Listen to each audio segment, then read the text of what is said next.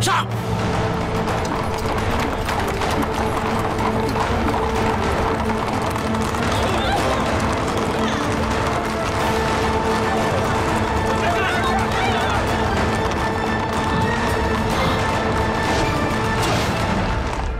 哎，稍等一下啊，稍等一下，各位注意啊，安静一下。现在我宣布，新婚典礼现在开始。哎，好，有请新郎新娘闪亮登场。哦，让一下，让一下，往后往后站。好。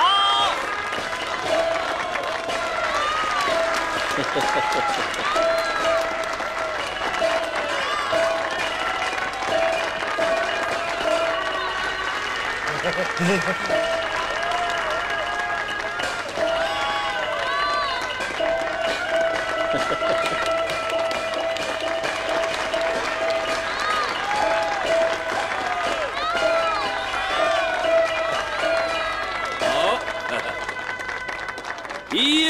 天地，叩首。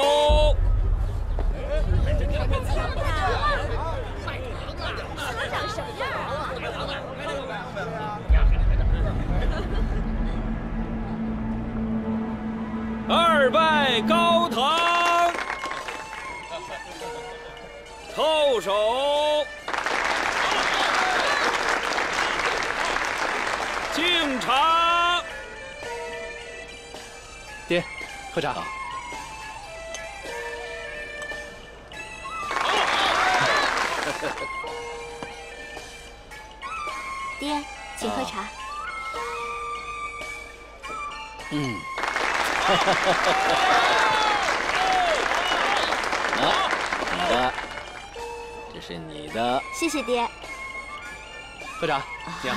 朱哥，娘，请喝茶。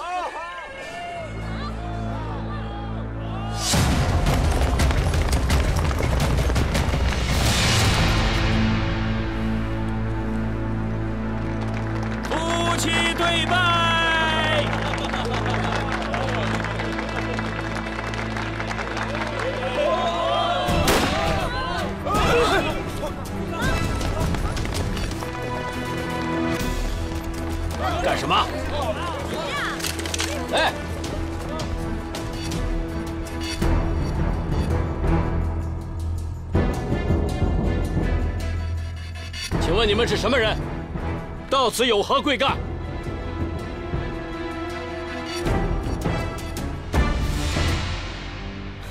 你就是朱可发吧？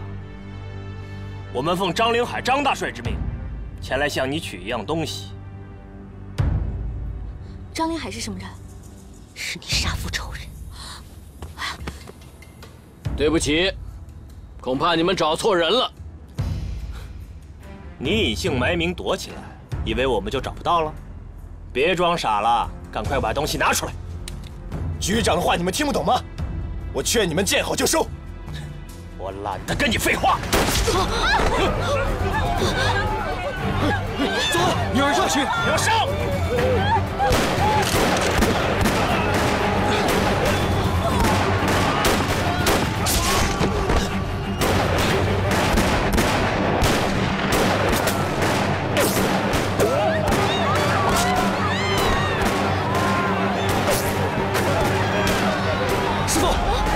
我去帮忙。好，一定要小心啊！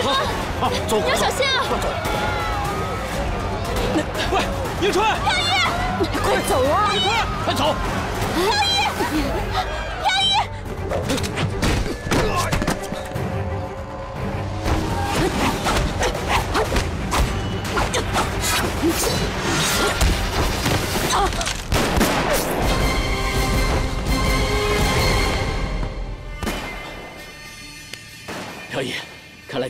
来今天难逃一劫了。我把龙头杖交给你，你务必要把它保管好。爹，别再多说了，快走！快，来！哎，子枫，你来的正好，赶紧！我等这个机会等了快五年了，识相的就赶紧把东西给我交出来，否则别怪我对你们不客气。程张子枫，原来你，爹，飘逸，哎，飘逸，这边，快！娘，我要去找飘逸。不行不行，外面很危险，这里才安全，不能出去。我要去帮他。不行啊，他们都有枪，你怎么可能是对手呢？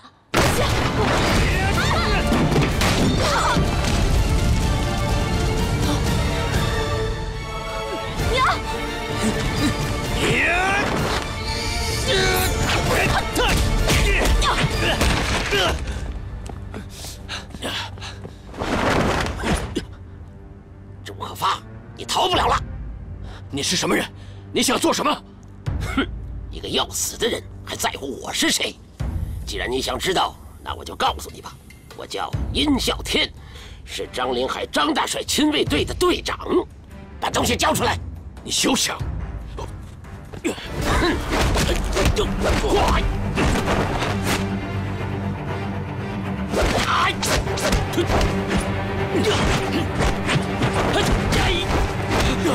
爹，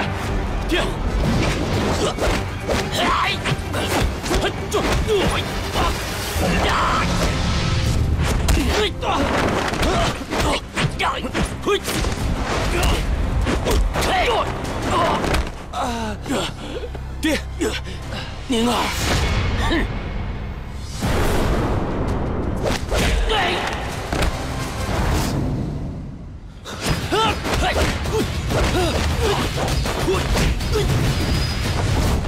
宁儿，宁儿！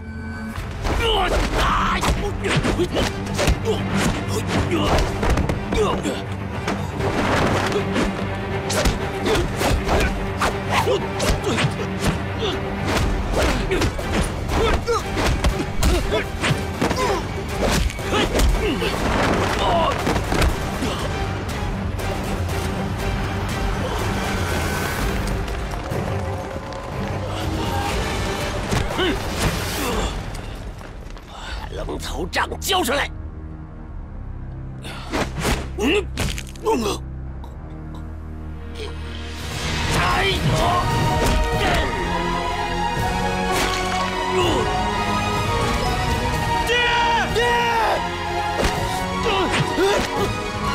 爹，爹，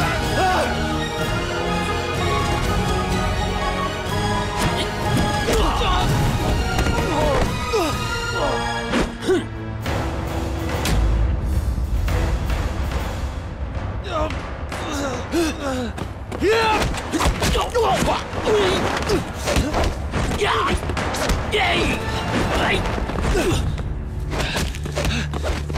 爹，爹，爹，爹，爹，谢谢。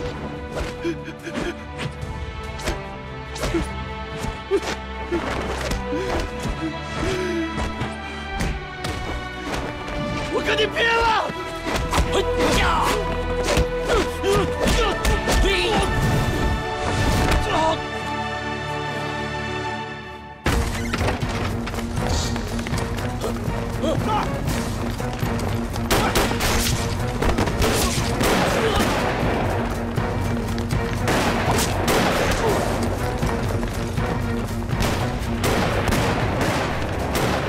发叔！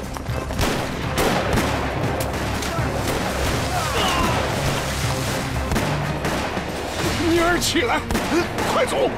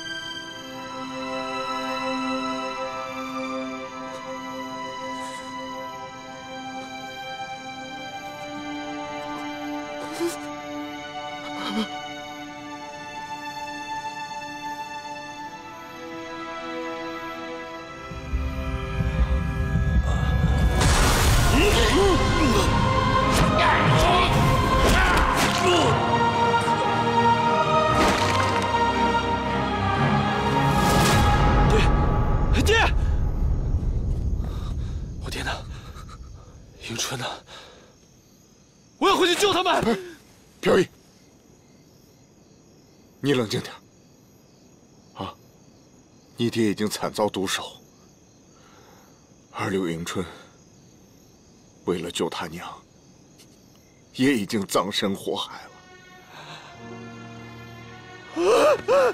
飘逸，你冷静啊！飘逸，你冷静啊！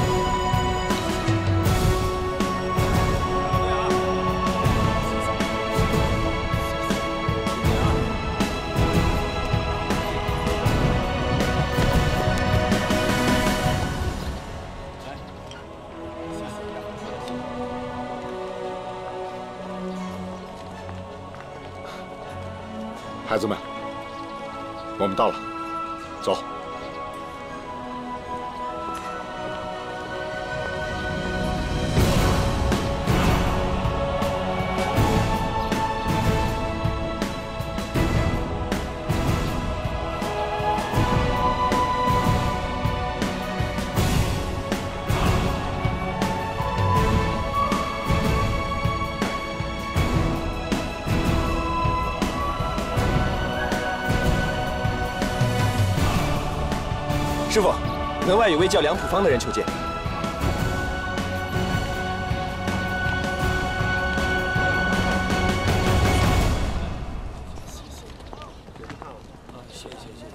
庆元兄，可认得我梁普方？啊，记得记得。普方兄，你是我师弟朱可发的至交好友。哎，可发呢？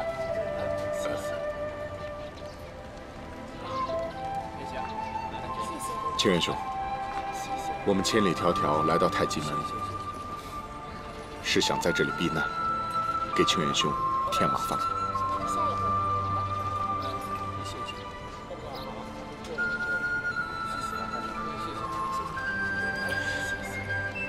普方兄，来到太极门，就像回到自己家一样。咱们还是到里面去说。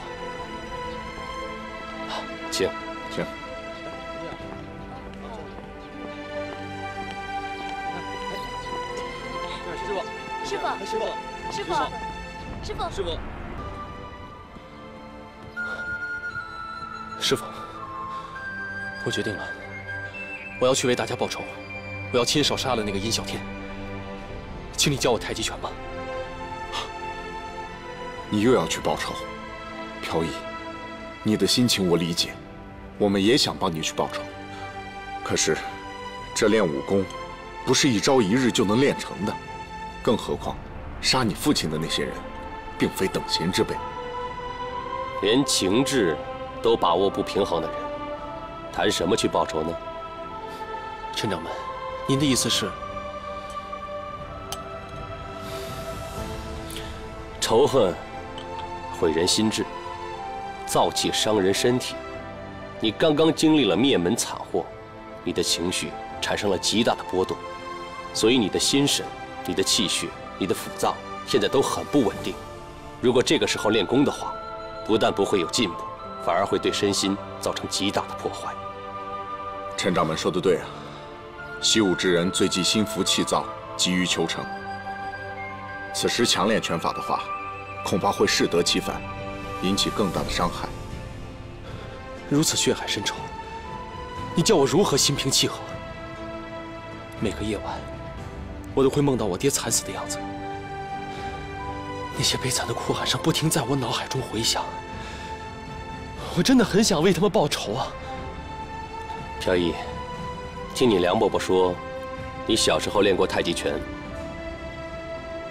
我从小，爹就教过我太极拳。飘逸，从现在开始，爹要教给你陈氏太极拳的拳法。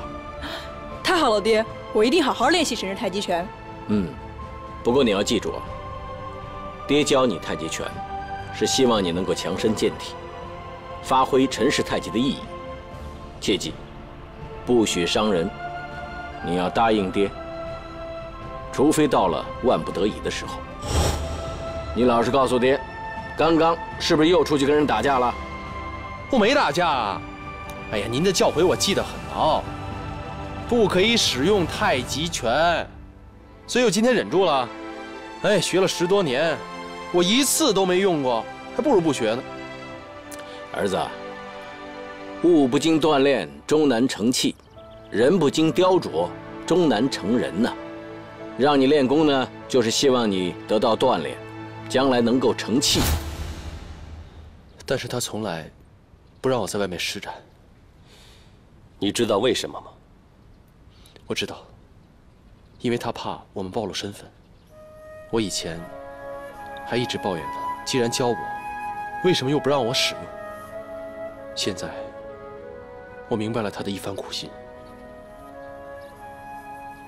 你爹为了保护你们，隐藏身份二十余年，即便是这样，还是被那些人找上门了。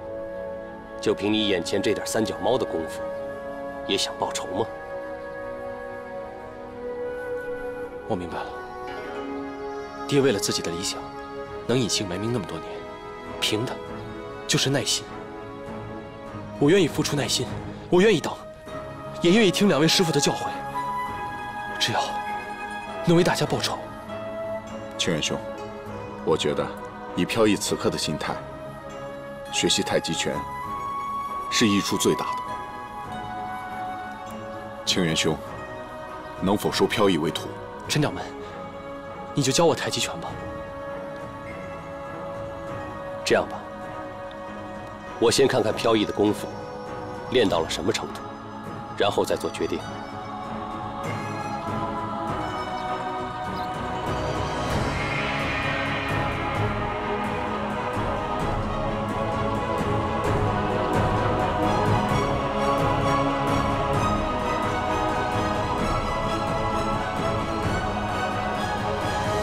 如风。爹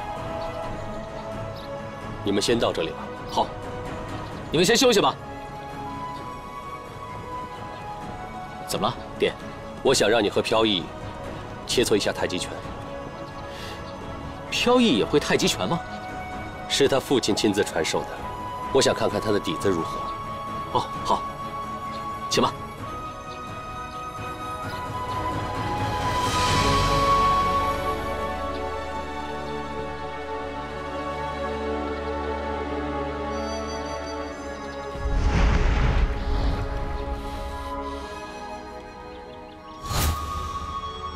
青龙出水，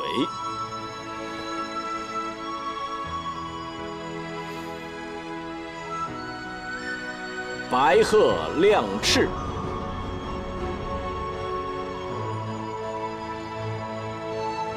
飘逸，你练一次给爹瞧瞧。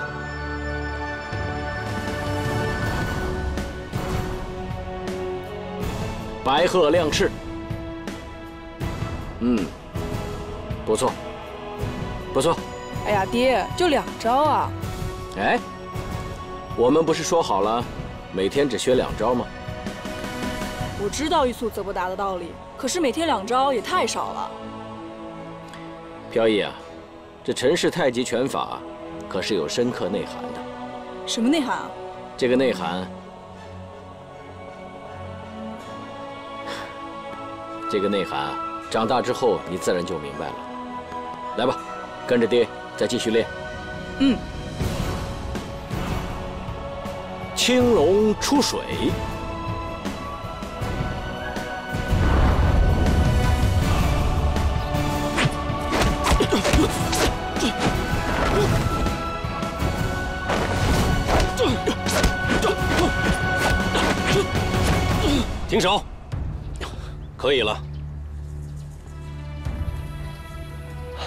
镇掌门，现在能教我太极拳了吗？现在还不行。为什么？我禀赋那么差吗？不是你禀赋差的问题，而是你自己还没有准备好。那你告诉我如何准备？我马上去准备。如果哪一招练不好，我立刻去练呢。飘逸，你回答我，白鹤亮翅和金刚倒交到底是什么含义？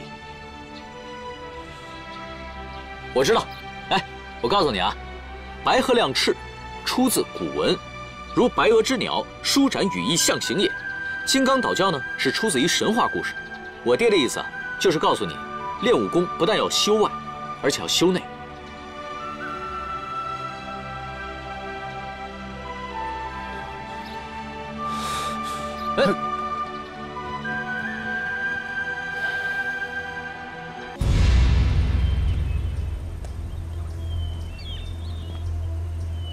队长，对面就是陈家沟了。我刚调查过。原本驻守在这里的郑世康带兵南下作战，现在正是我们偷袭的好机会。哼，好，真是天助我也呀！弟兄们，到了太极门，免不了一场厮杀，你们都准备好了吗？我都迫不及待地将朱飘逸的头割下来了。听说太极门高手如云，我倒要看看，哪个敌得过我的贪狼神拳？我的刀。也很久没有饮血了。好，等夺到龙头杖以后，你们就痛痛快快的杀个够。哈哈哈哈哈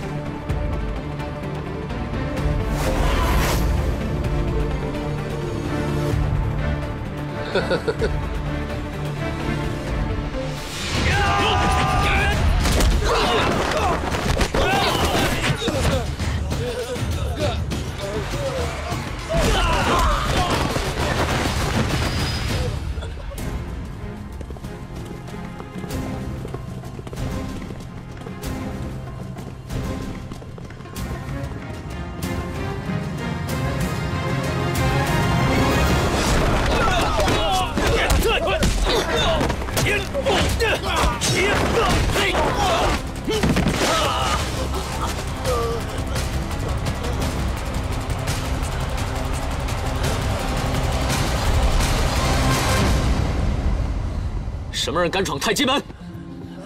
小子，我们的目标是朱飘逸，快让开！好狗不挡道。怎么，你不敢跟我打呀？少废话，上！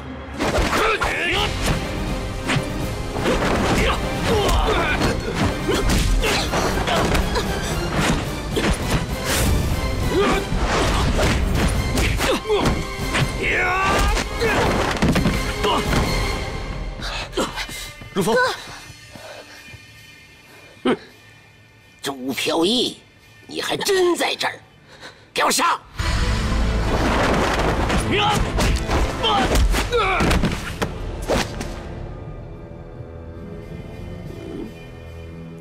这位就是太极门的掌门陈清泉吧？我等来此只为朱飘逸，还望您能尽早交出朱飘逸，不然我可不敢保证我的弟兄们会做出什么事儿来。尔等公然在太极门作乱，实在是过分，赶紧给我退出太极门，否则我对你们不客气。不交出朱飘逸，我们怎么舍得离开呢？再说了，我还要领教太极门的厉害呢。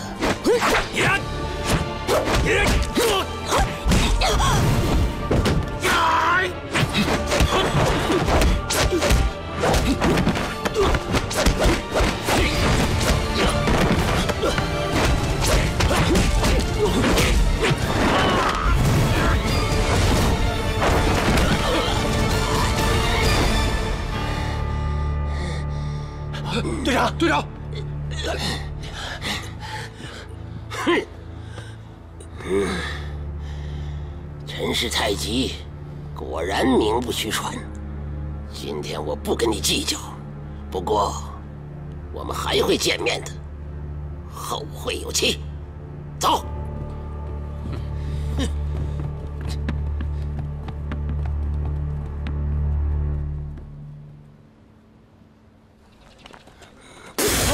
队长，队长，没事吧？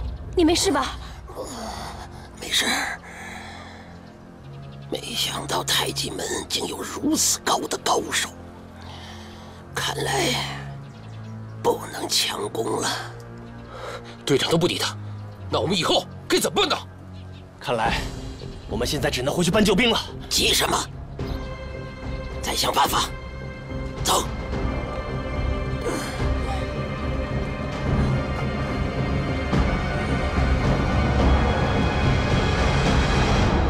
陈掌门，你的太极拳竟如此容易的将他们击败。之前是我有眼不识泰山，如今见识到了太极拳法的厉害，我决心要继续学习太极拳，为父报仇。请您收我为徒吧。飘逸，你想学太极拳，不觉得是在耽误功夫吗？我已经下定决心了，就请您给我一次机会吧。好，想要成为太极门的弟子。首先要通过两次考验，通过这两次考验之后，我才能收你为徒。行，上刀山下火海，我都愿意。好，跟我来。来，你们两个看看，这桶水有多重？应该有几千斤吧。嗯，你们可以用双手把它推倒吗？什么？爹，您没事吧？这谁能推倒啊？陈掌门，我也无能为力。你可以示范一下吗？是啊，爹，要不你给我们示范一下，不然我们怎么知道你是不是在故意为难飘逸啊？好，你们退后两步。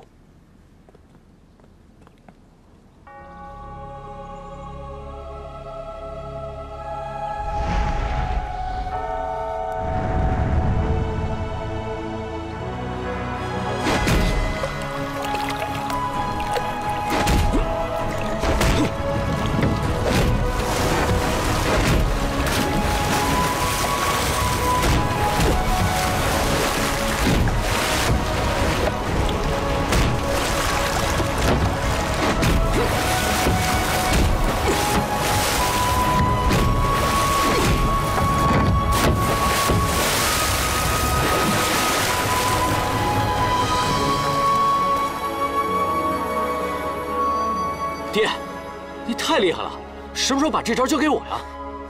刚才不是教过你了吗？嗨，你就示范了一次，我怎么能学得会？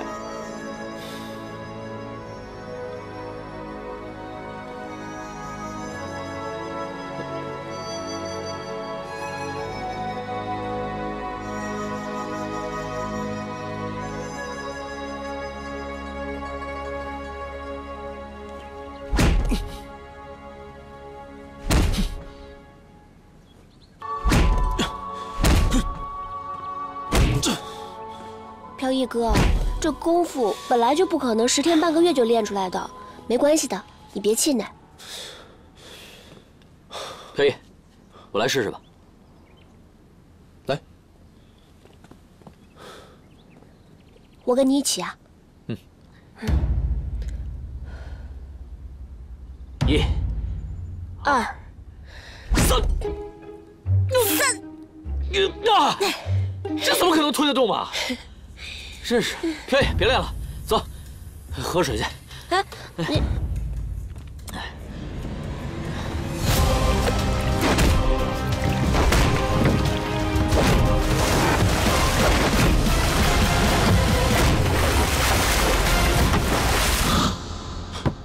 我知道了。啊？啊？你知道什么了？当我们推打水桶的时候，水桶里面的水受力之后，会产生运动。运动的物体呢，会产生惯性。所以，如果我们随着水的方向再施力，那就会增加水的动力。虽然我们不能把水桶推翻，但是里面的水可以。这样就叫借力打力。飘逸，你怎么知道这么多呀？小时候，我学过物理学。物理学？物理学是什么？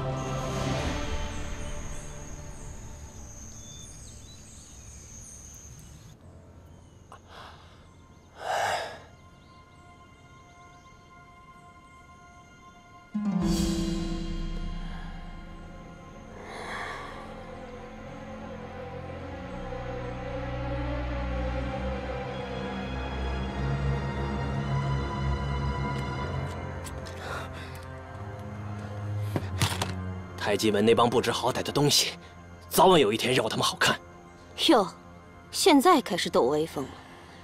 你们男人呢，总是关键的时候不中用。你什么意思啊？行了，别吵了。哟，队长，没事吧？陈清源，这个仇，我早晚要报的。还真小瞧了太极门的人，这陈家沟的功夫果然是非同一般。那咱们下一步该怎么办？不能再轻举妄动了，要想办法智取。队长，有何良策？太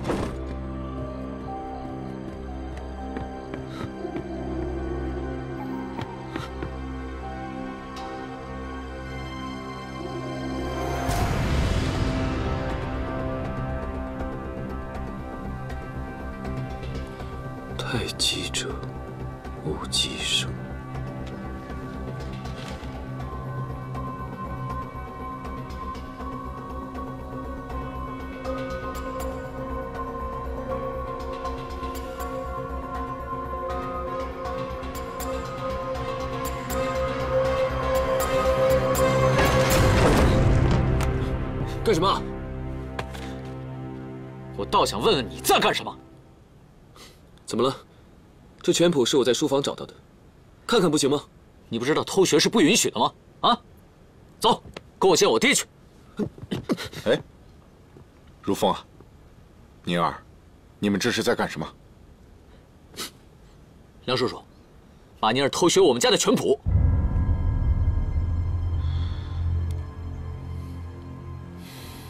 宁儿，他说的是不是真的？冤枉啊，师傅！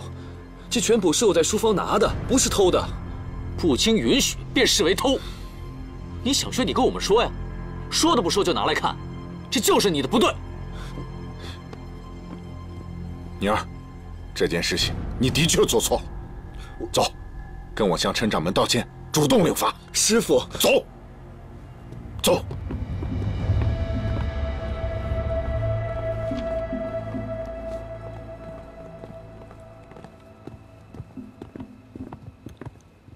哎，你这是干什么？确认兄，马宁儿想偷学我们家的拳谱，还好我及时发现。住口！宁儿，他说的是真的吗？我是一时糊涂，求学心切，我知错了。清远兄，都是我教徒无方，他竟然干出这种事情来。我把人交给你了，任由你责罚。蒲方兄，求学之心可以理解，年轻人一时心急用错了方法，这件事情。我是不会追究的。什么？就这么算了？他这是行为不端，非君子所为。住口！宁儿心急，看了看拳谱，说明他有上进之心。你再看看你，老是揪着别人的错误不放。他们是太极门的客人，也是家人，以后你要有宽容之心。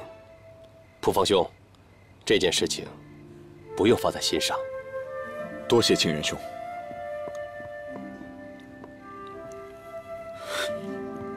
宁儿，人家陈掌门大度不责罚你，但是为师不得不罚你，罚你在这跪一天一夜，好好的反省自己，跪下。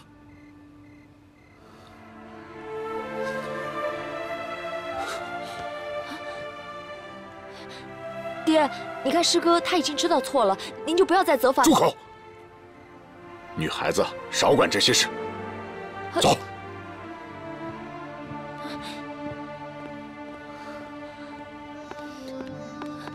爹，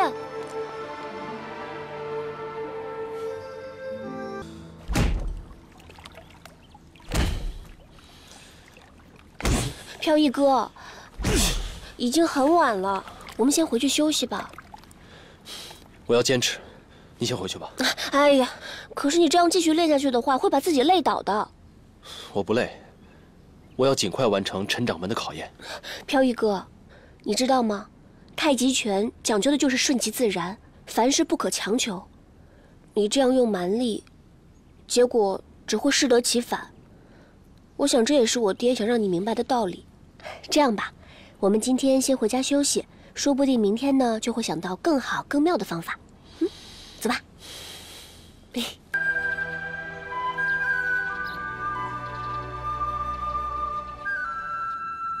飘逸，听如雨说，你准备好了？嗯，展示给我看吧。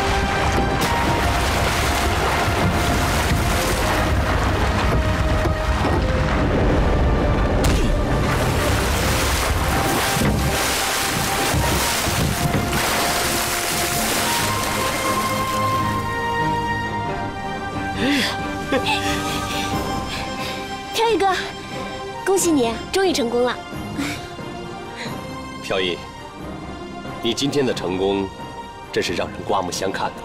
陈掌门过奖了，如果没有如风如雨的帮助，我办不到的。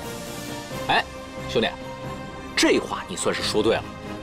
爹，飘逸的成功啊，是建立在他自己的努力和我的经验之上。如风，啊，你就不能谦虚一点吗？嗯。明白了，爹。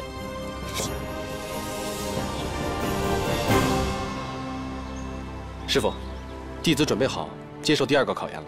现在就开始叫师傅，你就这么自信吗？好。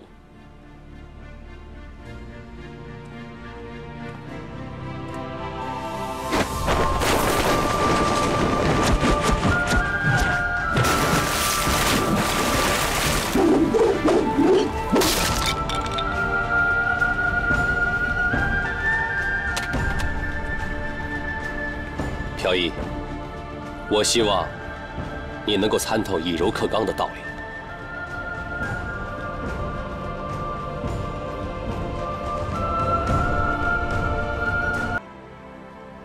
师傅，弟子准备好接受第二个考验了。现在就开始叫师傅，你就这么自信吗？好。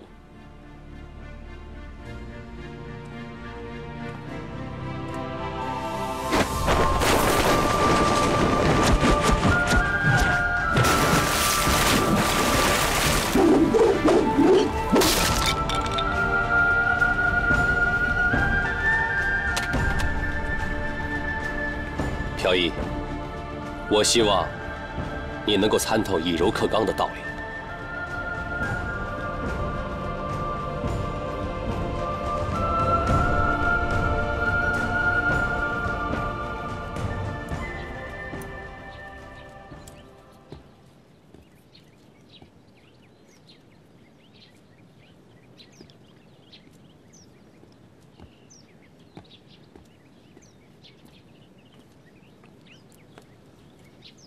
没想到你还会做这个。你怎么有空过来啊？我爹不是给你安排了考验吗？哎，完全不知道该怎么做。你经常编这个东西吗？我们这里的竹筐啊、篮子啊，都是我们自己编的。我一直以为这种手艺活只有上了年纪的阿姨才会做，没想到你这个小丫头也会编这个。挺厉害的，这个其实很简单的。我跟你说啊，竹子这个东西呢，它看起来很坚硬，其实呢，它特别有弹性。你知道吗？有句话叫做“吃软不吃硬”，有的时候绷得越紧越不好用。吃软不吃硬，挺像我的。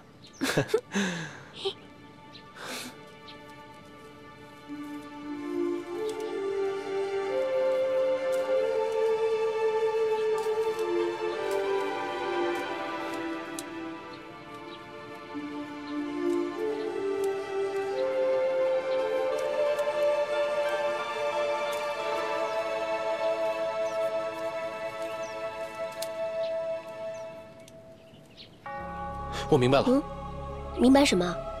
我知道怎么去完成师傅那个考验了。啊，我跟你一起去。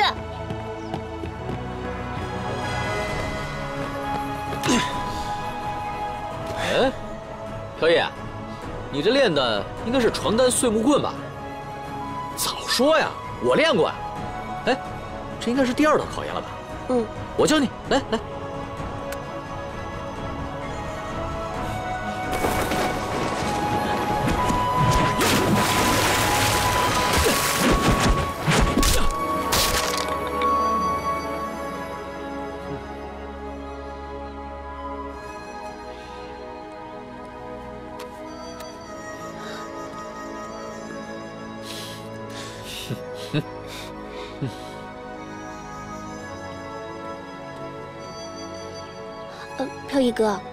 你看你的衣服都湿了，我再去帮你拿件干净的啊。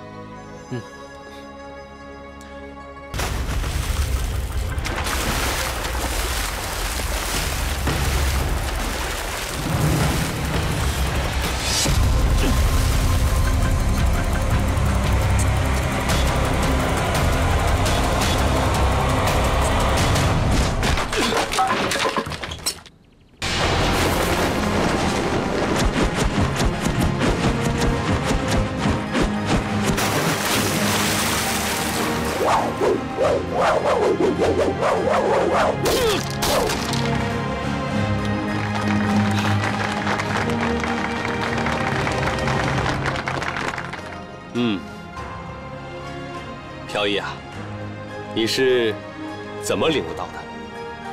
开始的时候，我也是糊里糊涂的，直到我看见如雨在编竹筐。说来听听。木棍硬，棉不柔，用一个柔软的东西去打碎一个坚硬的东西，肯定不能靠它的形态，要靠它的特性。什么特性？棉布的特性就是跟竹子一样，如果受到了外界的力量，它就会变形，并且它会给出一个反作用力。只要利用好这个反作用力，自然就能将其变成武器，打碎这根木棍。孺子可教也。你能从竹子中领悟道理，竹子的韧性，其实和太极拳中所讲的中定有异曲同工之妙。中定为实，虚由实生，没有中定的虚手走化，都是假虚。因此，中是太极拳幻化阴阳、转换虚实的根本。经过这两次考验，我才明白自己之前对太极的理解太肤浅了。谢谢师傅的点拨，让我明白了太极的真正原理。如今你已经完成了两个考验，我认为你已经准备好了，可以成为我们太极门的弟子，继续深造陈氏太极拳了。愣着干什么呀？赶紧拜师啊！师傅在上，请受徒儿一拜。哎，别急别急，待行了拜师大礼之后，我们才是真正的师徒。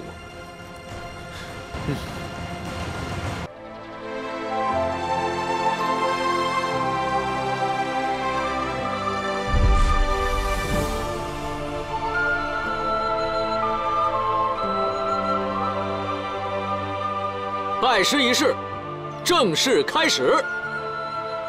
弟子朱飘逸正式叩拜师傅，请师傅收我为徒。日后定当刻苦研习太极拳法，精进武艺，为太极拳发扬光大，竭尽全力。请师傅受徒儿一拜。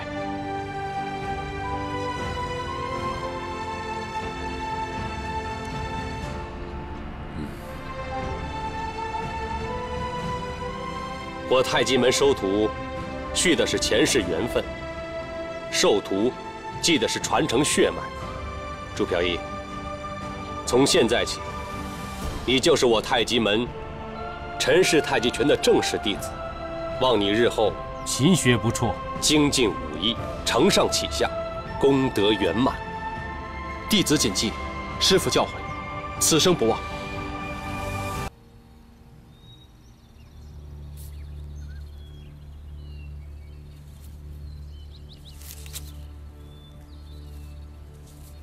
报仇，还不让我学武功，你以为这样我就能放弃吗？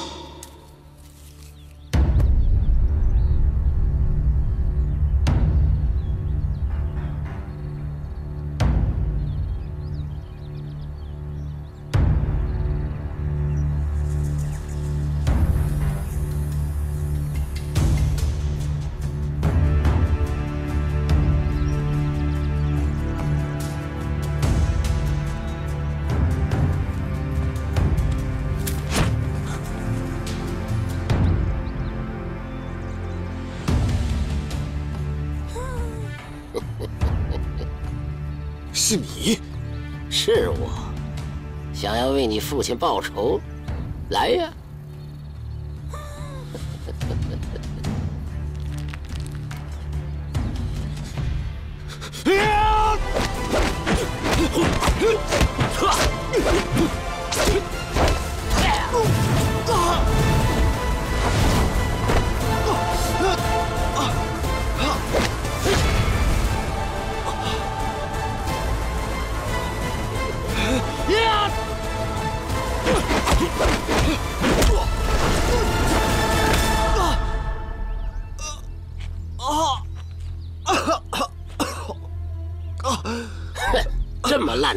一拳，还想为你爹报仇？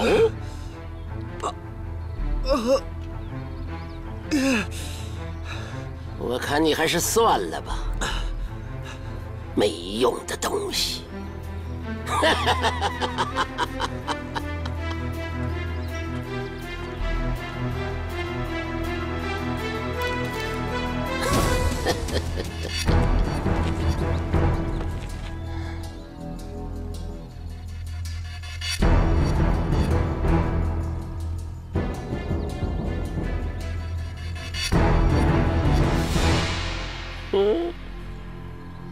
想干什么呀？请你教我武功。你这是在开玩笑吧？拜你的杀父仇人为师，你疯了吗？我没有疯。我知道我现在杀不了你，所以我要学你的武功，用你杀了我父亲的武功，杀掉你。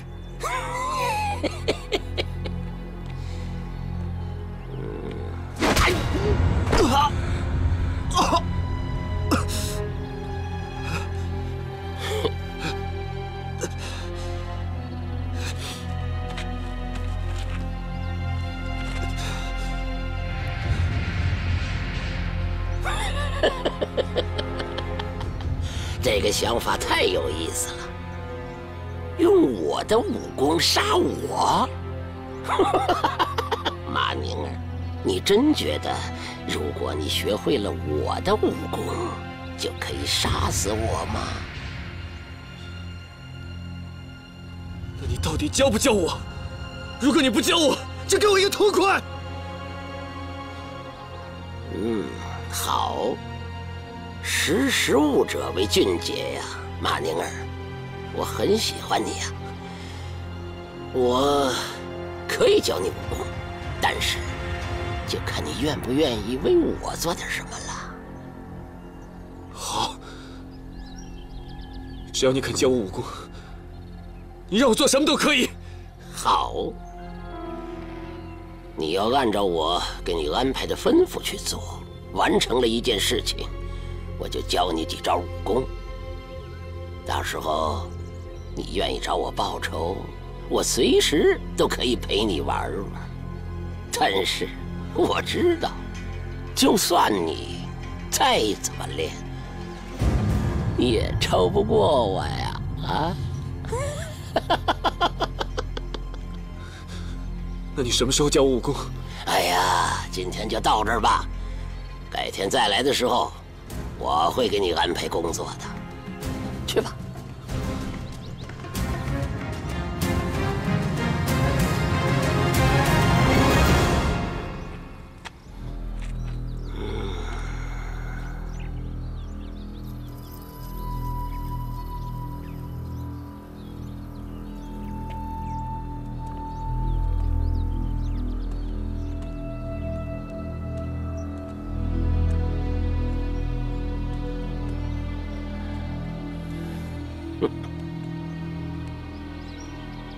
为什么不杀了他？凭我们现在的实力，很难攻进太极门。要是有个内应，那就方便多了。把宁儿这个时候主动送上门来，真是天助我也！记住了，替我看着点他，发现他有什么歪点子，就立即除掉他。是。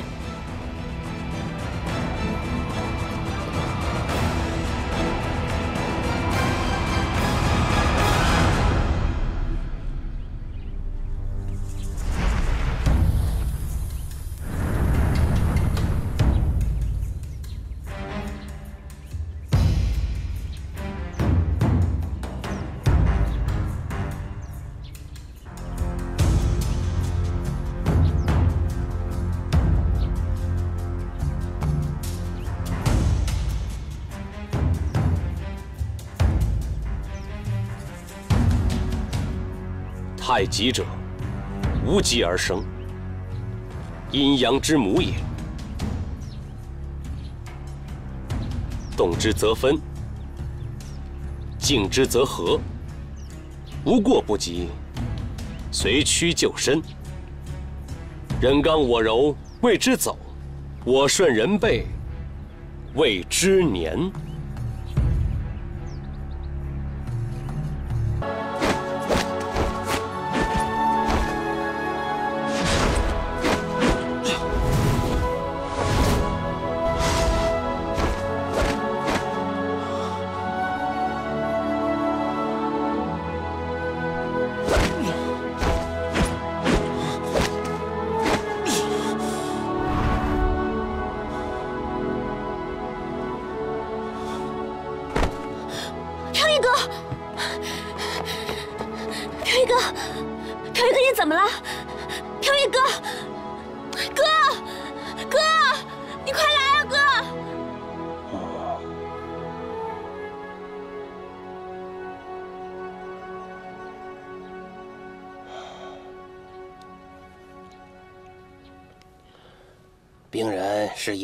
所致，忧思难解，身体内虚外热，又中了暑气，吃几副汤药，好好调理调理，过些日子就没事了，不必多虑。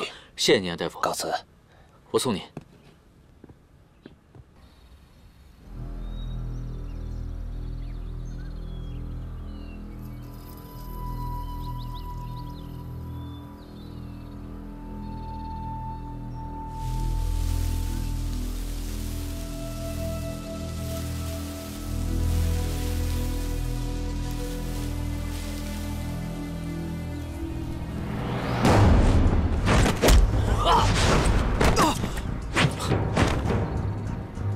领教鹰爪拳了吗？准备好了。哼！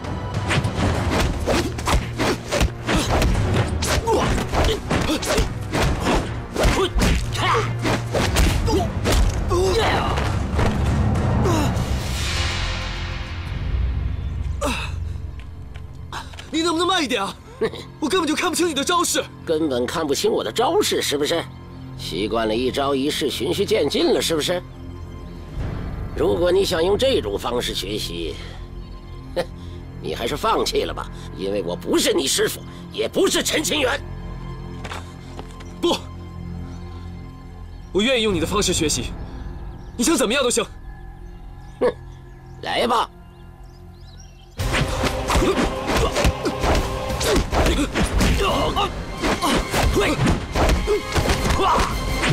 还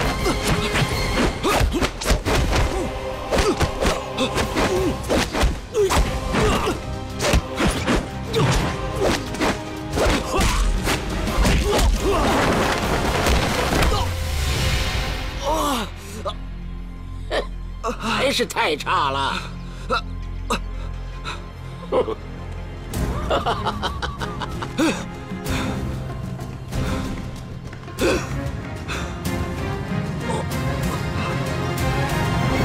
朴义，为师能教你的全都教给你了。师傅领进门，修行在个人。今天，我要对你进行一个测试。师傅，请说。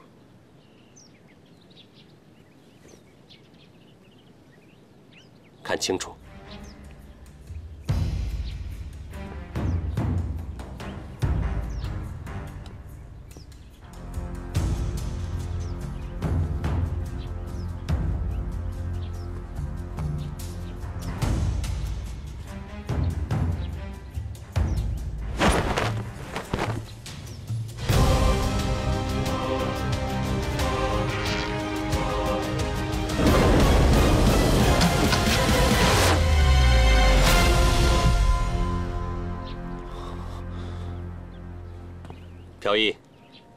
现在轮到你了。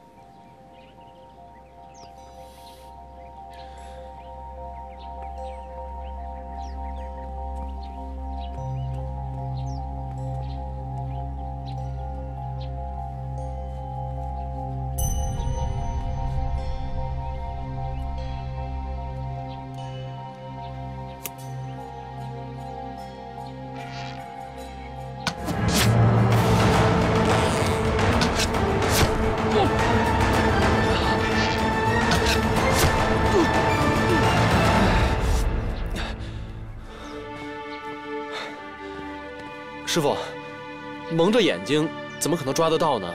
太难了吧！凡事皆由心生，心不静，则神不宁，神情慌乱便会失去信心。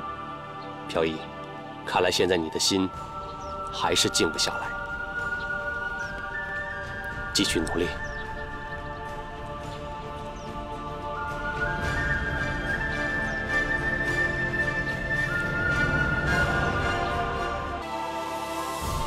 坤至柔而动也刚，至静而得方。厚德主而有常，行万物而化光。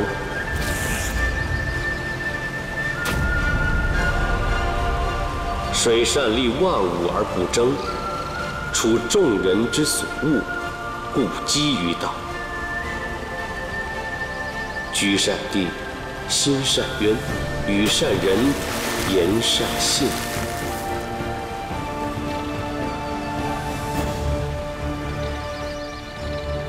鲲之背，不知其几千里也。怒而飞，其翼若垂天之云。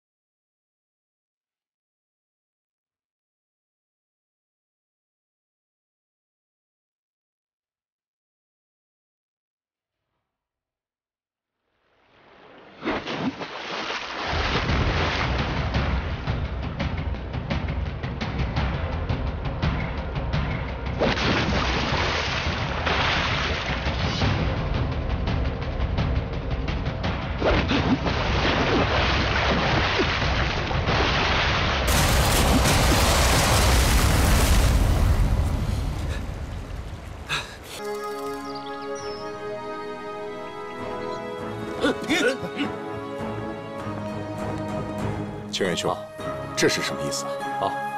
为了选出我们太极门的代表，我让弟子们挑战如风，如果可以赢了他，就可以代表太极门去参加武林大会。好啊，好啊！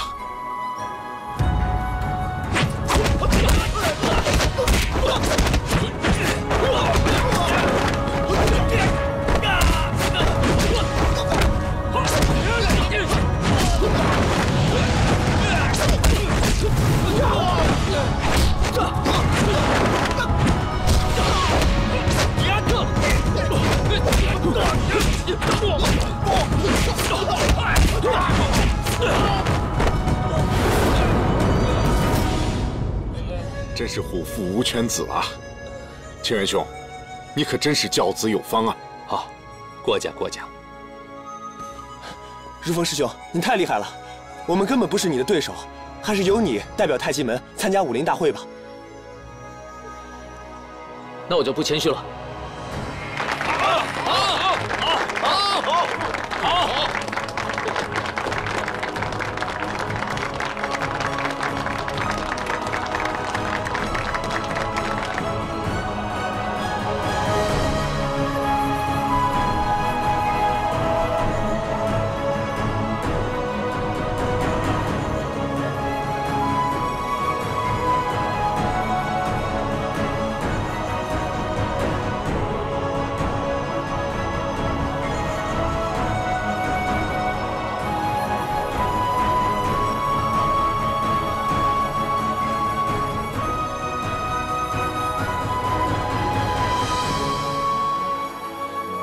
你想过去赢得比赛吗？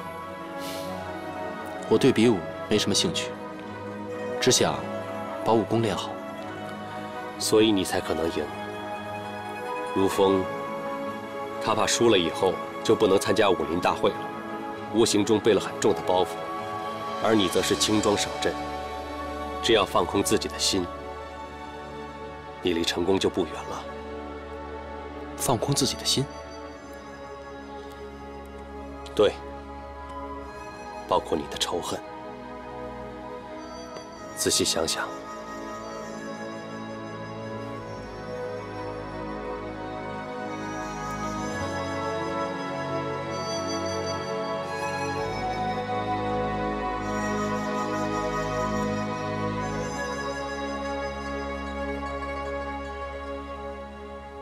飘逸，这次我不屑去见头了，你要小心。准备好了。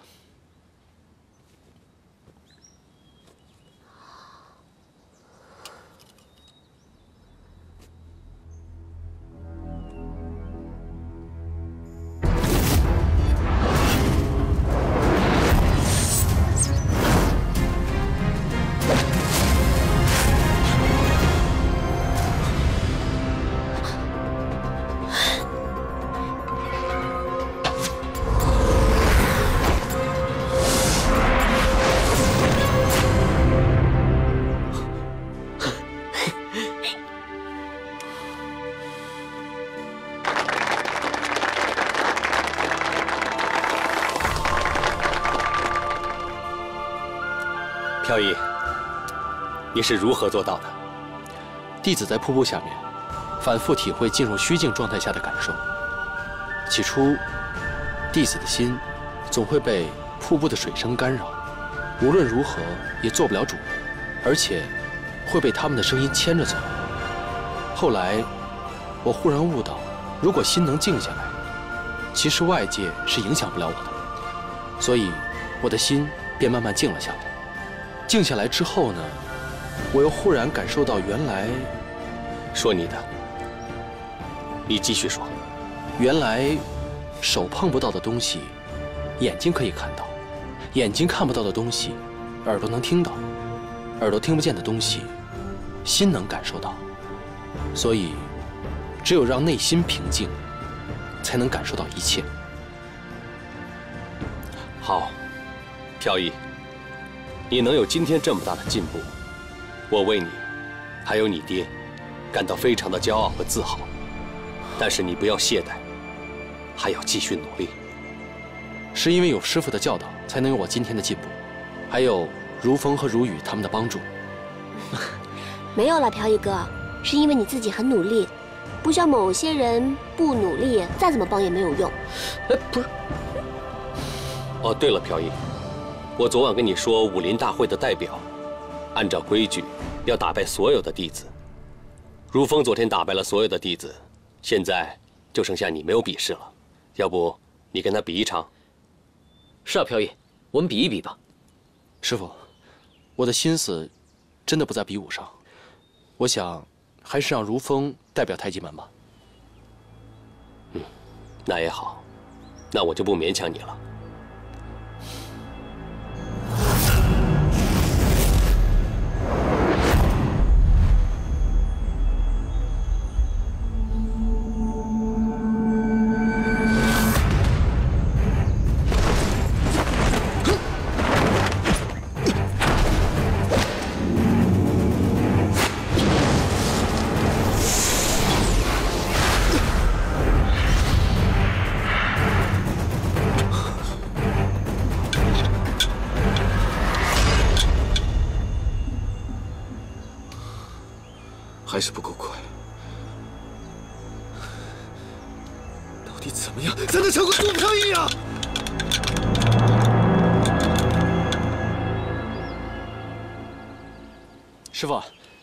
我们要在这里练功吗？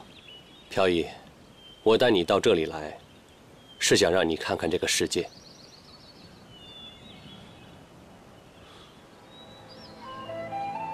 飘逸，你告诉我，看到了什么？山峦、嗯，河流、村庄、云雾。那，你看到山后的那些云了吗？啊，看到了。那你想到了什么？要下雨了。对。如果我们没有上山，便看不到那些云，也就不知道大雨将至。是什么让我们对未知的世界有了感知呢？高度。对是高度，也可以说是一种境界。练武的人所学的招式是有限的，但是当你达到了一定的境界，你的招式就变得无限了。真正的武术，比的不是速度、力量和招式，而是境界。师傅的意思是，境界高的一方会洞穿境界低的一方。对。如果不能洞穿对手，就算你有再猛烈的进攻，都是徒劳的。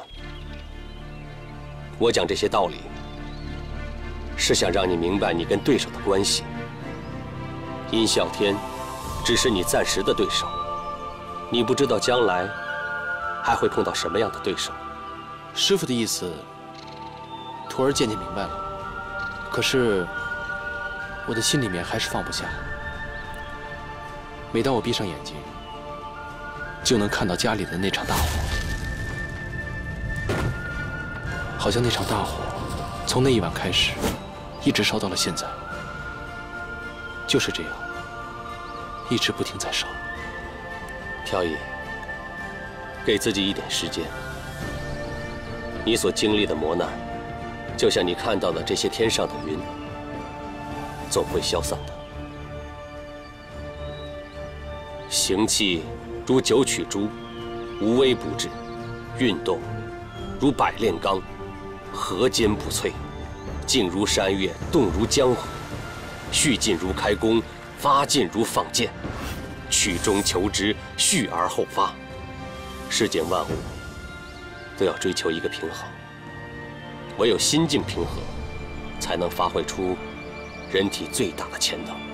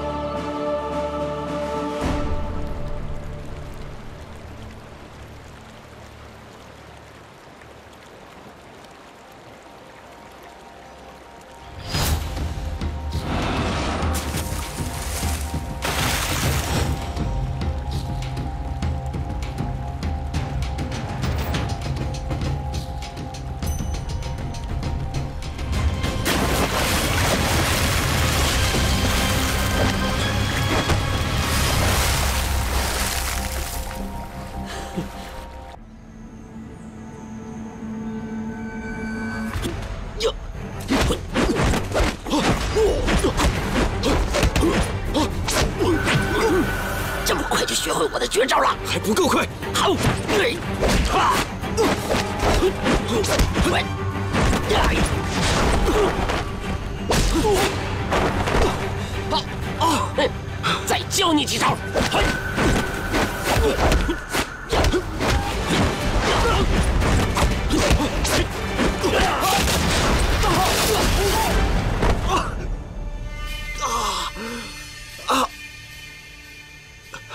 把这几招学会了吧，就教我这几招而已。急什么？就这几招，能演变成千变万化，参透了，你的武功自然精进。那你什么时候才教我真正的绝招呢？我把绝招都教给了你，你还能为我办事吗？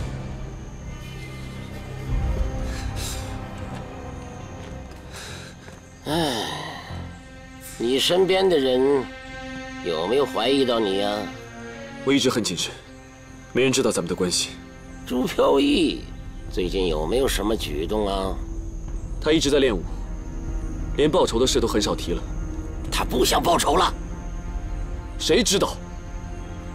不过，朱飘逸的武功倒是进步神速，真让人惊讶。怎么，他武功进步，你害怕了？害怕倒是算不上，一些担心还是有的。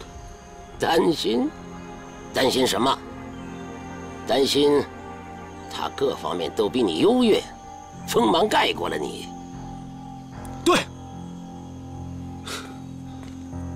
我现在就是想找个机会，让他从我身边永远消失。可是我到底该怎么做呢？好，那我就让雪莲准备一下，然后通知你。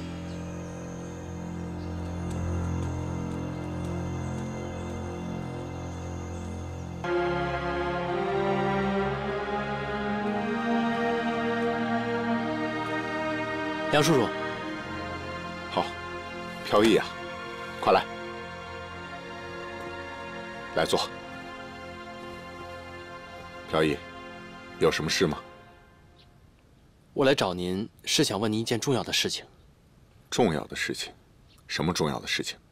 关于龙头杖的事情。我成亲前一天，我爹曾经跟我讲过龙头杖的事情，但是都怪我，那个时候我没有留心听。现在后悔莫及。我爹生前让我把龙头杖交给杨兴，现在我的武功略有所成，已经准备完成爹交给我的任务，所以我想问问，您是否知道关于龙头杖的事情啊？飘逸啊，其实你爹生前很少跟我提起龙头杖的事情，所以我对龙头杖的事情知之甚少啊。那您知道些什么呢？我只知道，龙头杖就像一把钥匙，一把打开宝藏的钥匙。宝藏？对。张令海就是为了这批宝藏，才去抢夺龙头杖。即便是有了龙头杖，也不能找到宝藏，还需要其他三样东西。什么东西？飘逸，你背上的纹身，你爹跟你讲过吗？他没跟我讲过。这个纹身，马宁儿身上也有一块，两个图案，各代表一个含义。什么含义？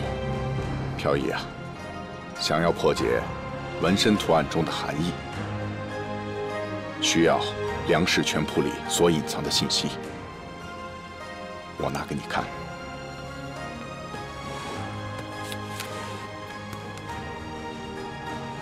飘逸，这份拳谱是你爹为了隐藏宝藏的秘密，亲自编写，并把它交于我手中的。虽说这是一份梁氏拳谱，可是它只记录了一些武学的基本原理，而且我始终看不出这里面到底有什么秘密。不过今天你既然提出来了，就说明你有了完成你自己使命的意识。现在我把它交给你，你带回去好好研究，一定要找出破解纹身图案的方法。谢谢梁叔叔。飘逸啊，你终于放下了恩仇，找到了主要使命。等找到了这批宝藏，好好利用这批宝藏，救国救民，这才是男子汉该做的事情。这也是你爹隐藏身份的真实目的。孩子，去替你爹完成使命。嗯。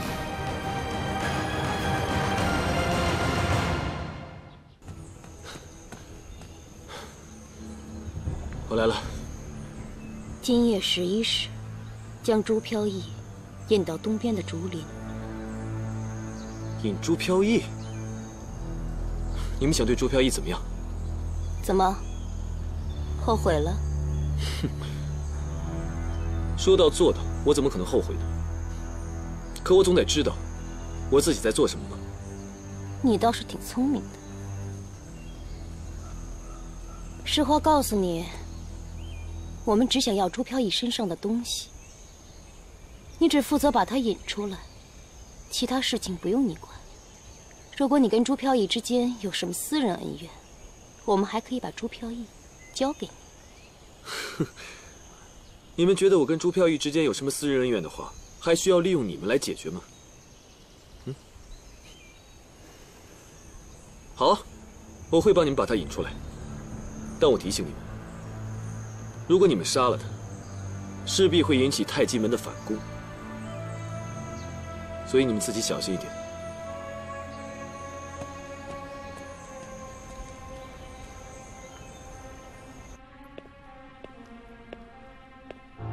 马宁儿一会儿就把朱飘逸引到东边的竹林。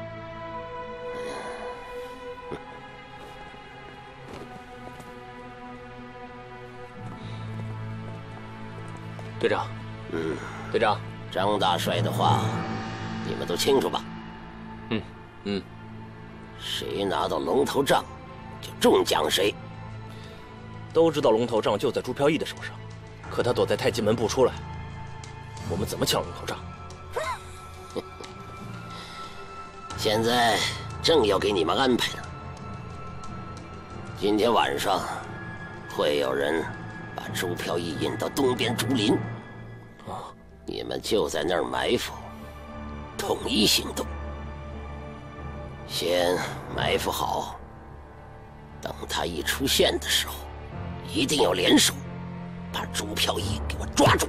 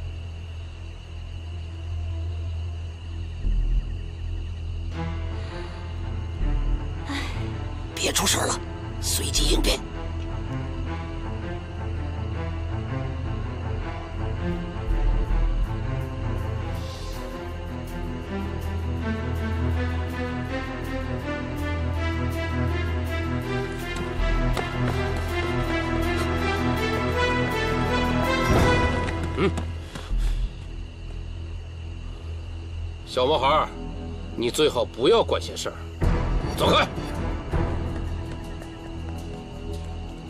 尹小天在哪儿？你死到临头了，还这么多废话？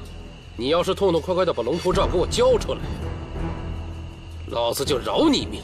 龙头杖是立国济民的，绝不可能交给你们这些人。那你就是活腻歪了。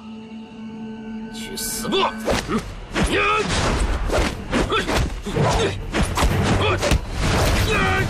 姓朱的人呢？你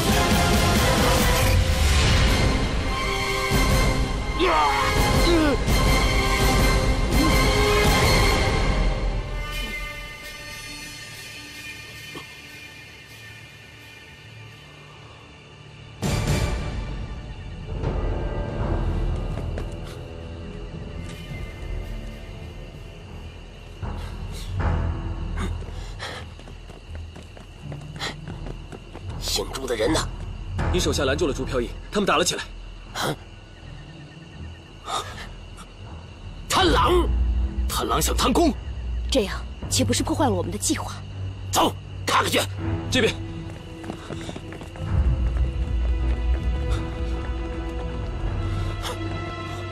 贪狼。想不到朱飘逸的功夫进步的如此神速，别太早下结论，没准朱飘逸还带了帮手，不可能。我看着朱飘逸是一个人追上来的，没有帮手，是朱飘逸一个人干的。哎，早就跟你们说过呀，万事要小心。贪狼就是轻敌的下场。贪狼的武功大家心里都有数，不仅低劣，还一意孤行。四肢发达，头脑简单，要我看，死有余辜。他死了，你好像很开心的样子。不对吗？武功差不说，还不听队长的话。好了，别说了。马宁儿，你先回去，有事我通知你。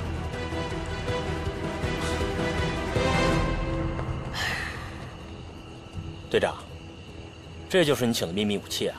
废话，反正他现在比贪狼要听话。有了他这个眼线，周飘逸的一举一动我们都知道。龙头杖迟早会落在我们的手里。这个马宁儿就真的值得我们信任？以后我不知道，现在他是为我所用的。此地不宜久留，赶紧把贪狼的尸体处理掉，尽快离开这儿。嗯，是。我若是拿到龙头杖。打开革命党当年埋藏的宝藏，我就可以造他几个军工厂。但是大帅，这笔宝藏毕竟谁都没见过，如何能这么确定呢？当年我奉清政府之命捉拿叛党的时候，我就知道有这么一笔宝藏。虽然过了二十年。我知道这笔宝藏一定还埋藏在某个深山中。大帅，这笔宝藏到底能有多少价值啊？多少价值？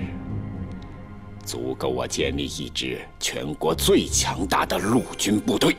啊！督促殷啸天，尽快找到龙头杖。是，大帅。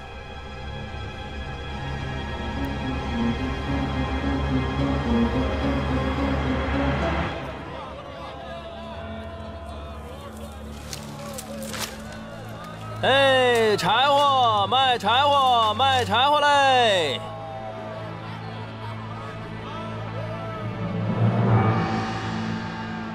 哎，我说，练武的至少有两百多号人，高手有多少就不知道了。我们得想个办法应对。哼，这样，我们化妆潜入，然后投毒，等太极门的人中毒之后，就毫无抵抗力了。咱们主要的任务是摸清周围的地形。设定好进入和撤退路线。这样，让马宁儿搞到陈家沟的地图。马宁儿，哼，我信不过他。你可别忘了，咱们可是他的杀父仇人。这仇人见面分外眼红，他却上杆子帮咱们，你不觉得离谱吗？我就不信他没一点怨言。你还没看出来啊？马宁儿跟着我们，就是想借机报仇。哼，马宁儿聪明狡诈，谁知道他在帮我们还是帮他自己？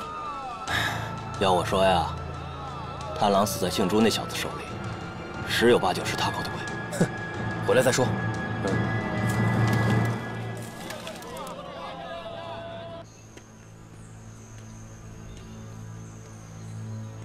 地图核实过了，没问题。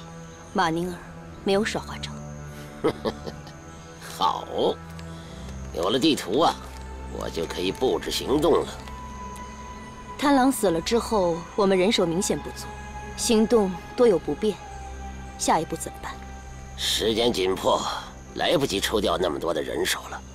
要瓦解太极门，还得需要马宁儿里应外合。马宁儿靠得住吗？对，他现在还是有价值的。别忘了，我们可是马宁儿的仇人。你多虑了。比起我们，马宁儿还有最大的敌人。其实，马宁儿一直对他父亲和朱家都十分不满。他又是一个嫉妒心强、争强好胜的人，而且朱飘逸有的他都想有，朱飘逸才是他最大的敌人。而且，只有我们才能帮他消灭朱飘逸，这一点。他十分清楚。原来如此。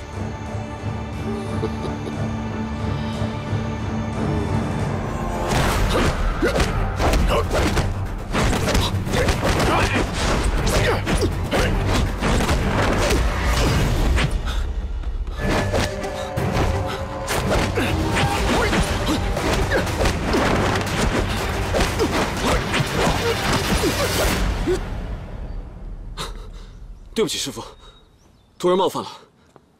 宁儿，你能打倒我，证明你已经进步了。你代表八极门参加武林大会，完全没有问题。徒儿不敢当。长江后浪推前浪，一浪更比一浪强，这是历史的规律，谁也阻挡不了。宁儿，你的武功已经和我齐平，可以出师了。师傅。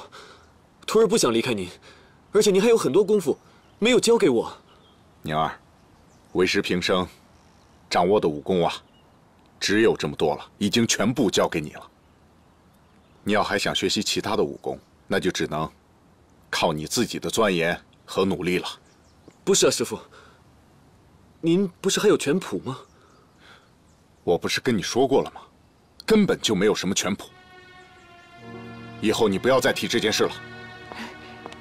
大家休息一下，吃饭了。哎，吃饭了，吃饭了，谁来了？走走走，走。爹，师哥，吃饭了。走，吃饭吧。爹，快点啊！好，好，去吧。走。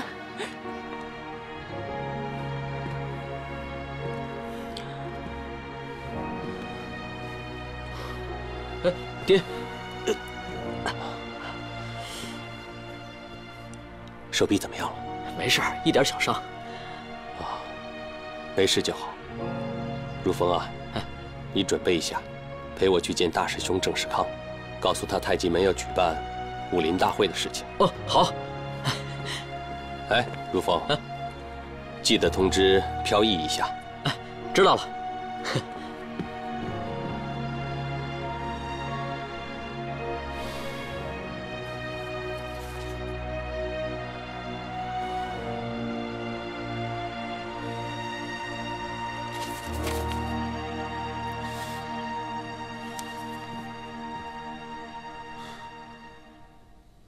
拳谱？为什么师傅告诉我说没有拳谱，却交给了朱飘逸？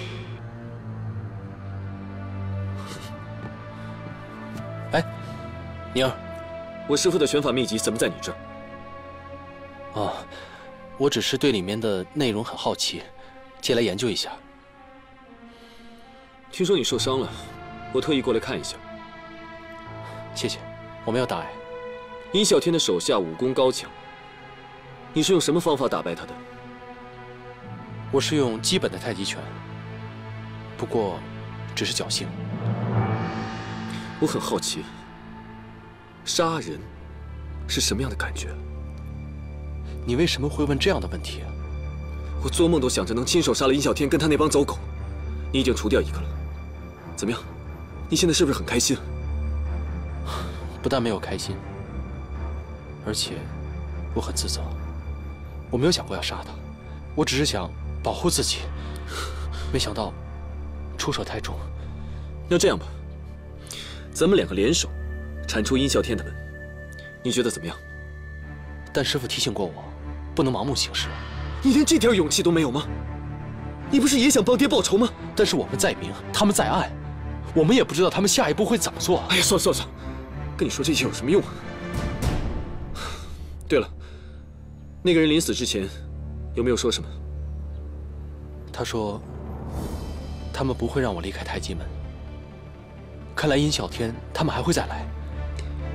没错，那个黑衣人就是殷啸天。我觉得他不像殷啸天。我觉得……对了，我马上就要代表师傅参加武林大会，既然你也参加了，看来我们势必是要打一场了。只是切磋，点到为止。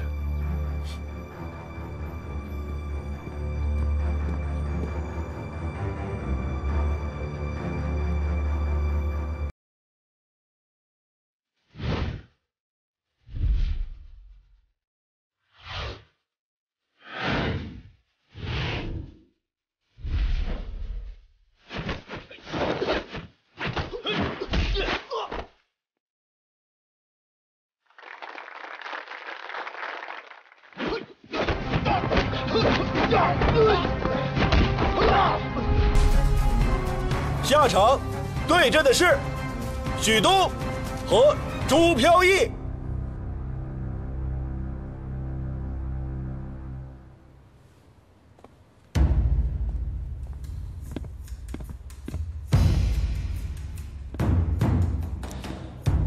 许师傅，谢谢上次的赐教，请。朱师傅赐教。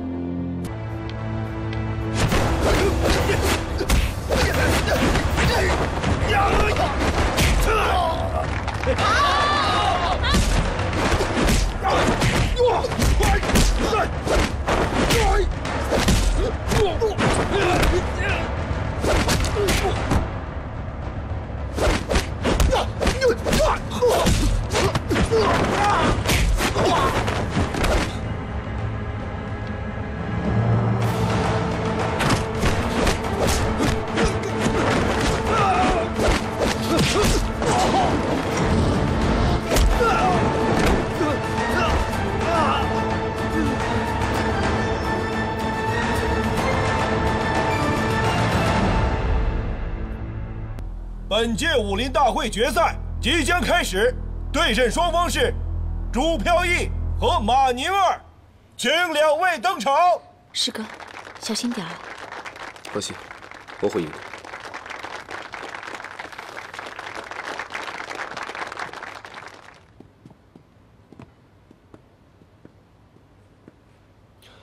宁儿，承让了。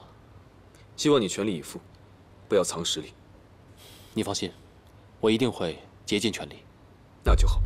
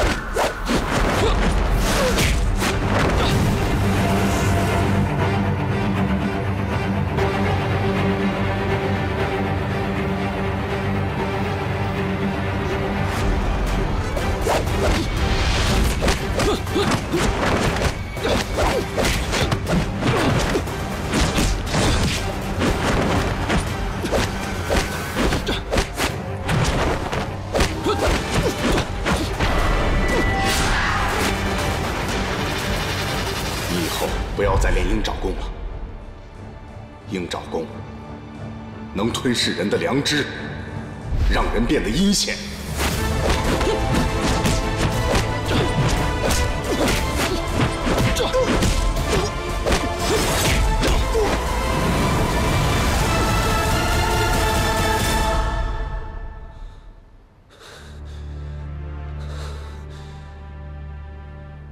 本届武林大赛的冠军得主是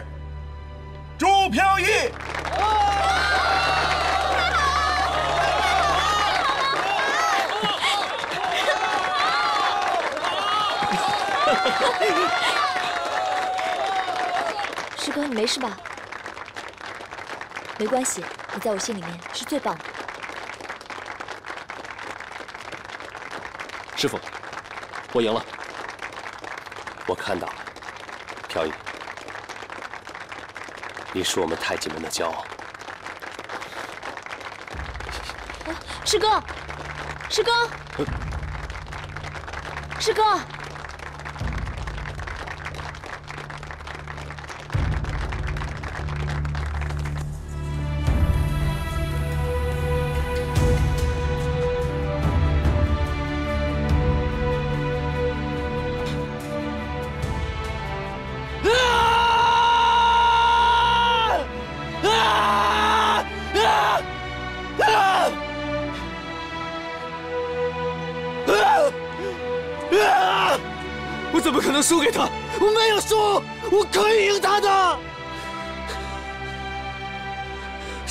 太不公平了，全世界的人都这么对我。老天爷，你对我太不公平了，我恨你，我恨你。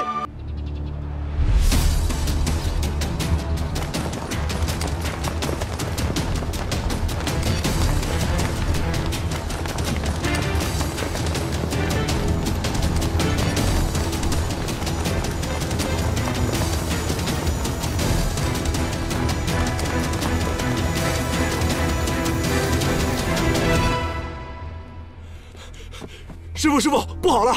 什么事情？外面有很多兵冲进来了。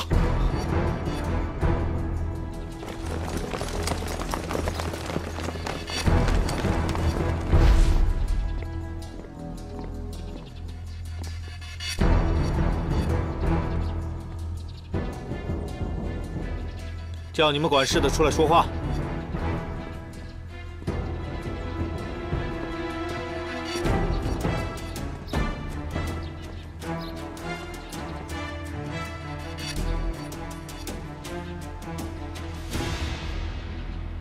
啸天，你偷袭过太极门，袭击过我们的弟子，投毒，所有的坏事你都干绝了，你还来干什么？想必这位就是陈清源陈掌门吧？你果然是气度不凡。在下张天行，此次前来呢，是特意找您的爱徒朱飘逸索取龙头杖。至于刚才的这些鲁莽行为，在下深感抱歉，还望陈掌门多多配合。若不然，张某自然不会轻易离开。毕竟，军令在身，还望陈掌门多多谅解。陈清源，快把朱飘逸和龙头杖交出来吧，否则我就让朱家的悲剧在你太极门上演。易小天，你不配跟我讲话。你，这太极门是练武的地方。陈掌门，想必您一定不想看到陈家沟的百姓因为朱飘逸一人而遭受牵连吧？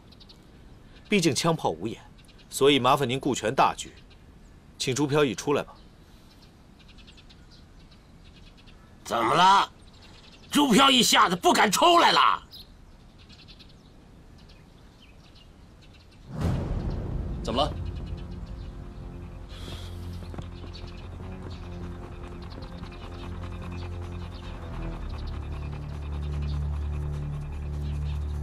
殷啸天，你还想怎样？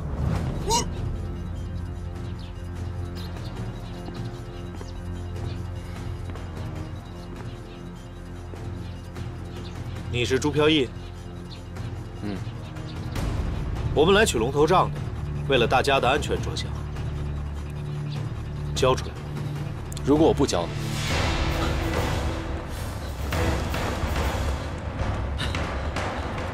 啊，请问有事吗？郑将军呢？我找他有急事。哦，在里面，里面请。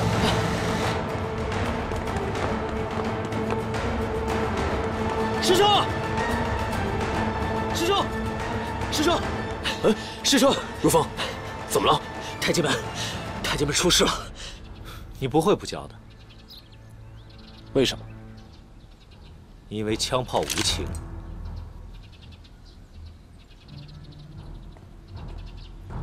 将军，别跟他们废话，直接杀了他们，让他们知道知道厉害。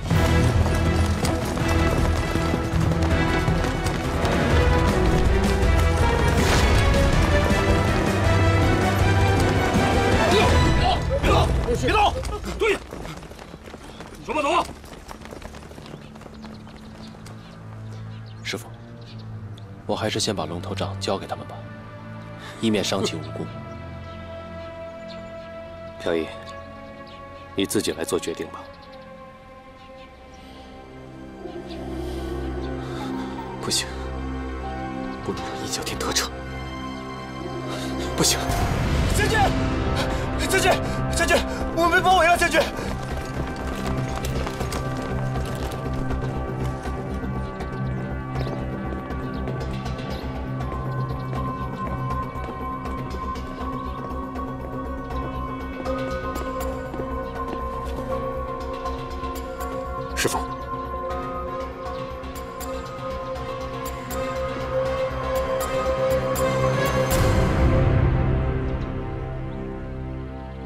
将军，怎么称呼？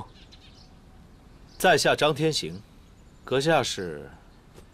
张将军，来我太极门，有何贵干？执行军务。哦，什么军务？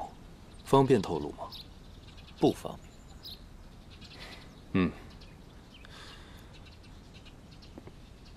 张将军，你来到我们太极门，本该是我们的客人。客人应该享受贵宾的待遇，但是这客人不经过主人的允许，就动了主人的东西，实在是有失礼节。张将军，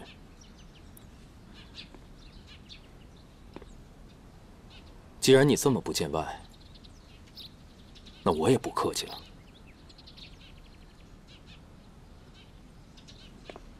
来人！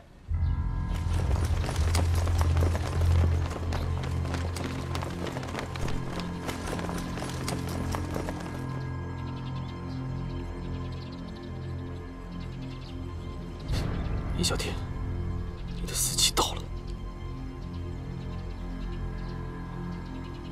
这位将军，我相信你一定不想跟我们发生冲突。现在国内形势非常复杂，因为这点小事而发生军事冲突，你我都担不起这个责任吧？那是后话了。我请你看清楚当下的形势，是你先来我的地盘挑事，而我现在有四倍于你的兵力，就算我们发生冲突，我照样让你全军覆灭，你信吗？那是当然，但我可以保证，不开一枪，不杀一人，拿到我们的东西，立刻离开。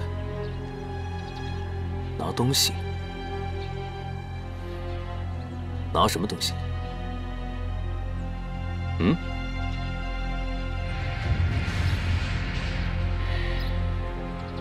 不知道。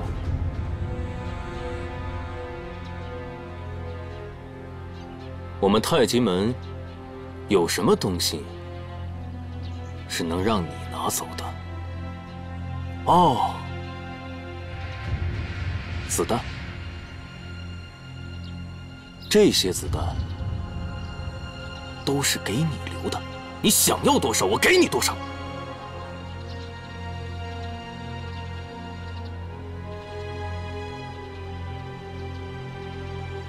收兵！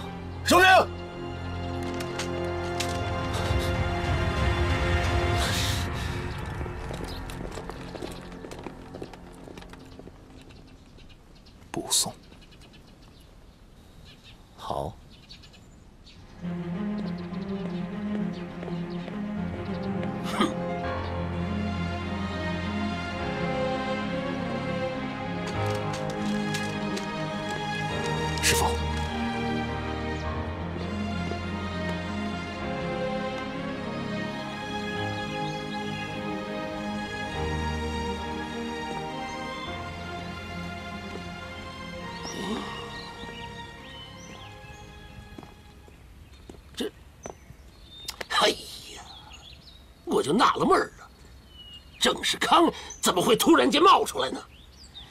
害得我们猝不及防。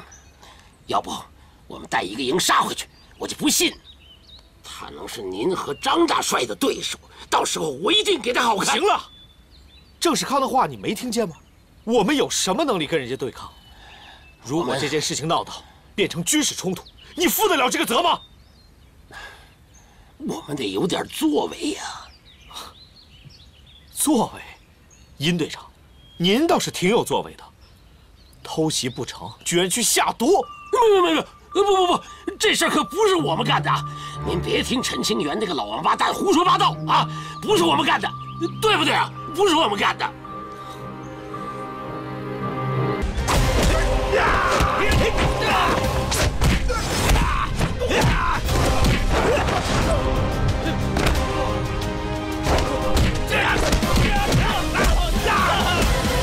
去看看。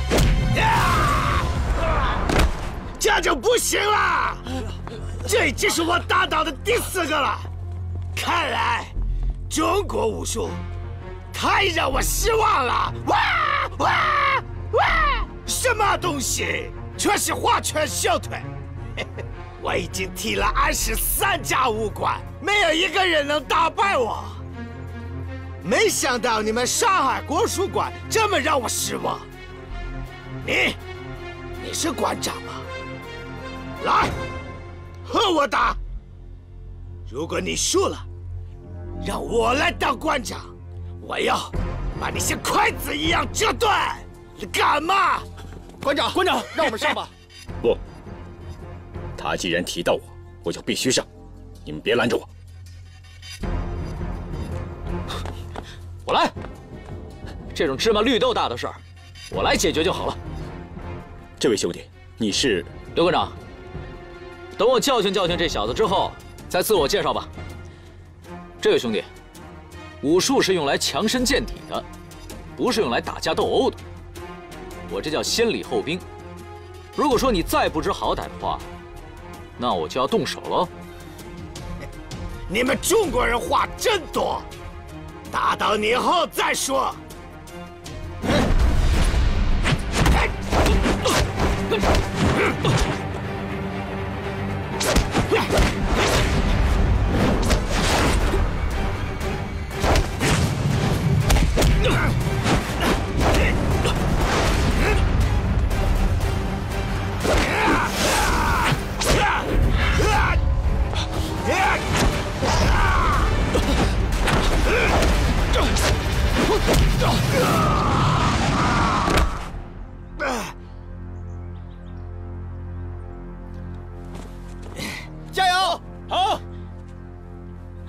你是什么人？我正在跟他打呢。在下朱飘逸。我管你是谁，我刚刚差点打败他了，现在你上来了。算了，你来吧。飘逸，小心啊。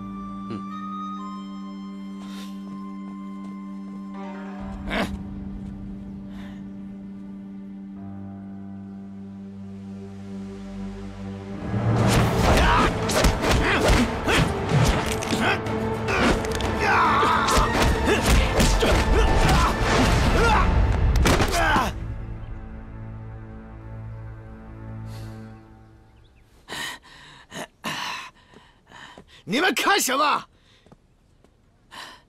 我告诉你，这完全不公平！这是一场不公平的比赛，因为我已经累了。在你上来之前，我已经打倒了五个人。你等着，等我回去好好睡一觉，然后会回来，把你打倒，就像打倒你的朋友们一样。哈哈，拜。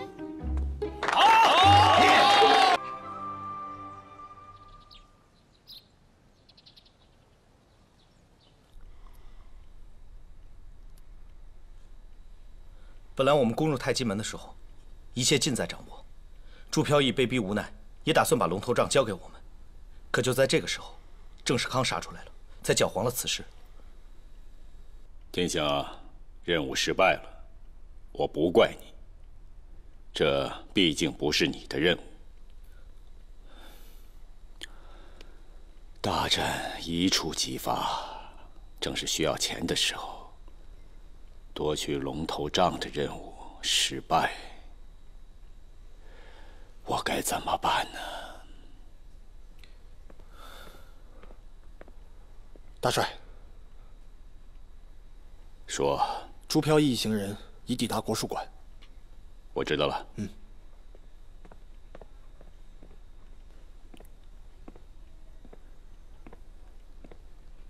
天行啊，既然回来了。就继续替我管理军队吧。是。尹啸天，在。继续执行夺取龙头杖的任务。是。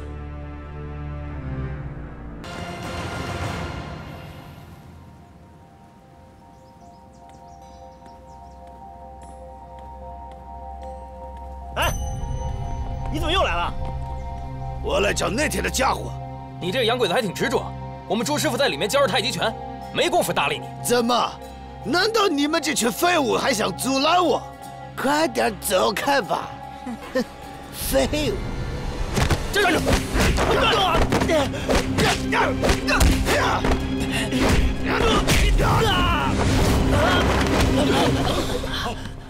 没事吧？朱师傅，这家伙他又来捣乱。放心，我会处理。照顾他，是。你教了一群废物啊！走，你看他们那个傻样子。他们才刚学不久，当然打不过你了。快让他们去治伤吧。上次我不熟悉你的拳法，所以才让我吃了一惊。不过回去之后，我仔细的研究了你所谓的太极剑意拳谱，而且还找到了你的漏洞。这次一定能把你打得像他们一样。来吧，来！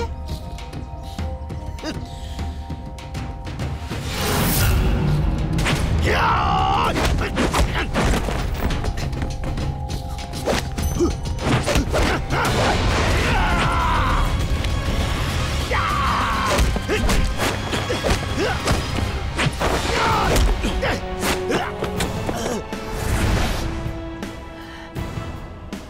动就是静。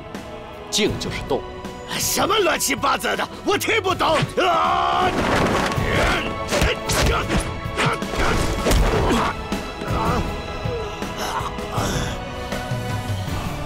怎怎么怎么会这样？快就是慢，慢就是快。哎，什么乱七八糟！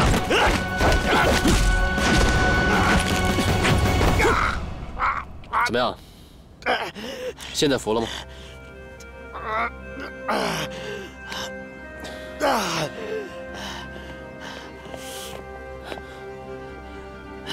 你的中国功夫为什么那么奇怪？出手太快了，和别人的不一样。太极拳的特点其实就是变化莫测，虚实不定，所以谈不上什么变化招数。你的武功的确有所进步，而且我也看出你的毅力和执着。但你的脾气太过着急，而且太极讲究的是以慢制快，以柔克刚。希望你能够慢慢的领悟。OK，承蒙赐教。不敢。你如果有兴趣的话，我可以教你太极拳。真的吗？你愿意教我？但是我不明白，你怎么会？我学了你的功夫，然后用你的功夫对付你呢？当然不怕。中国的功夫只在强身健体，而不是互相打斗、制服别人的武器。你愿意学习，弘扬中华武术，我当然求之不得。若不嫌弃，我就收你为徒，教授你中国武术，如何？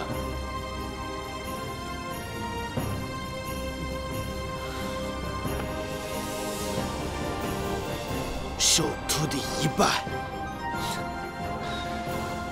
难得你有这份诚心，以后要认真学习，多加练习。遵命，谨遵师傅教诲。谢谢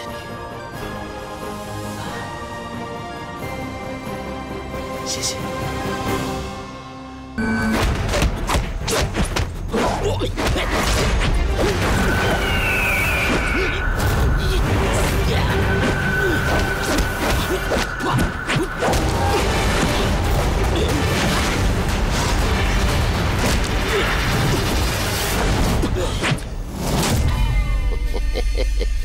没想到教你的武功居然全学会了。那当然，您教的招式，我哪敢浪费？你还真的以为你学会了我的所有招数？保证一招不落。好，我让你看看。嘿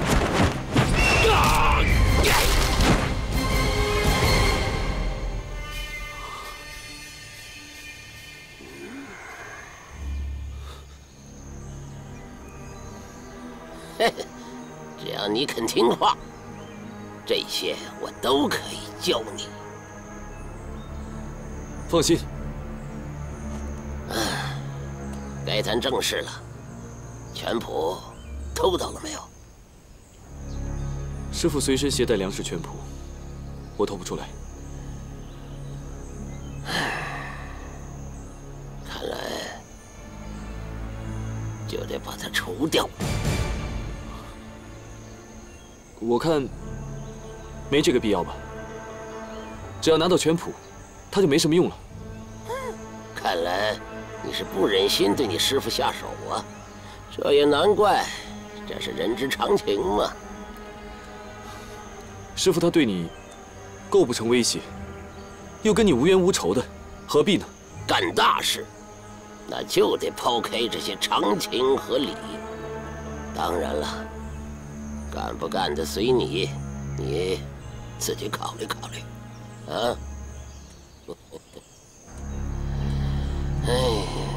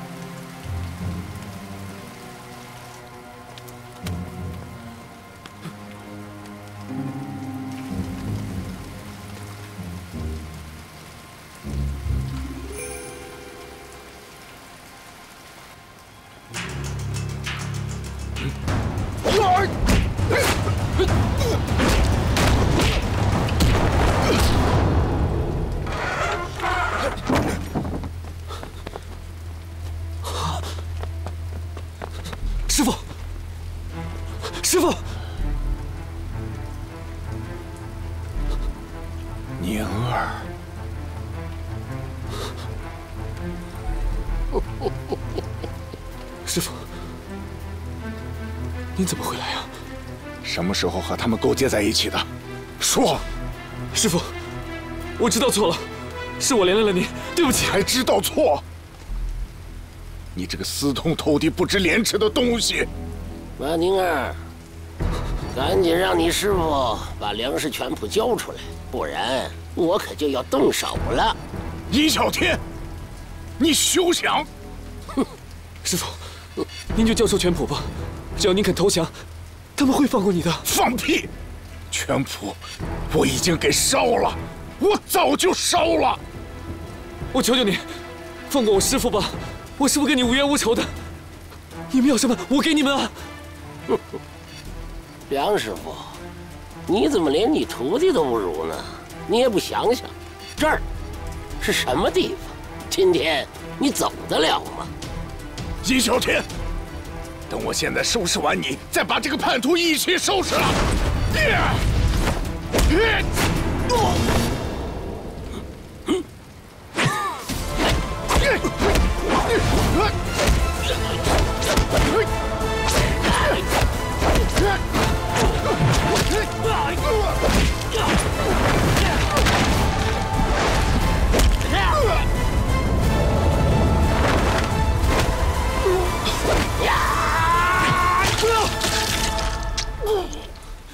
师傅，师傅，师傅，来人，师傅，扫他的身，看看有没有全谱。师傅，没有。好，果然是个老狐狸。马宁儿，怀疑你的人已经死了，这回你可以踏踏实实的去对付朱飘逸了。我们走。师傅，是徒儿不孝，是我的错，对不起师傅。我只是想学尹啸天的功夫，然后把他杀了。我只想为我父亲报仇。我了解，是你之死。师傅，您说不能为了自己的私欲忘记大义。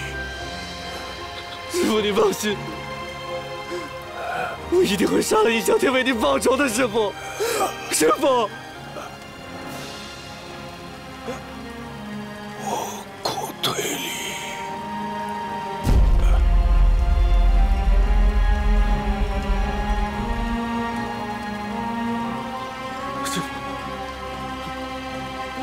师傅，你不能死啊！师傅，师傅，师傅！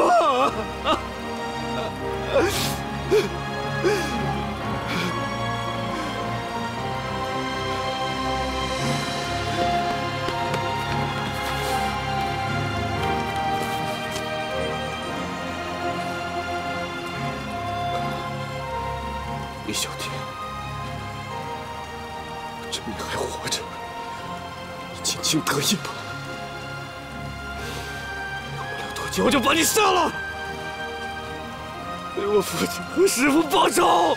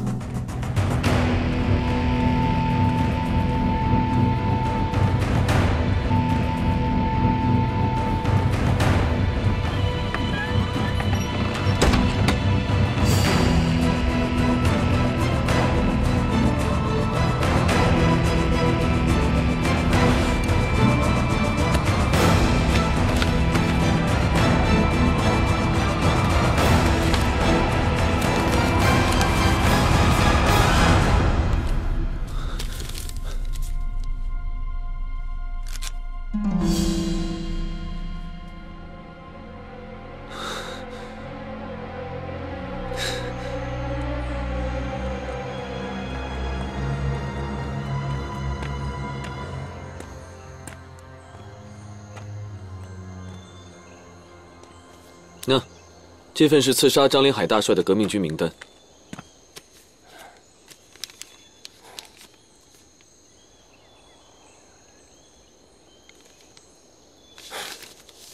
办事还算利索，事情办的还可以，没有被他们发现吧？怎么了？你担心我被发现，就没人帮你偷龙头账了？哎，以你办事的风格，我知道你一定会办得妥妥的。但是你要记住，你可是我们安排在朱飘逸身边的秘密武器呀！啊，你可千万不能让他们发现。还有啊，以后给我盯紧点朱飘逸，一旦发现他有什么新的举措，就马上向我汇报。我的酬劳呢？你想要多少钱？我不要钱，别用你的钱来腐蚀我。那你想要什么呀？你忘了我们的约定了吗？我要的是武功。哦，好，我可以多教你几招武功。你的武功啊，从招数上看，嗯，还差不多。但是要是提升的话，那就再加深练一下鹰爪功的快、准、狠。快、准、狠。嗯，看啊。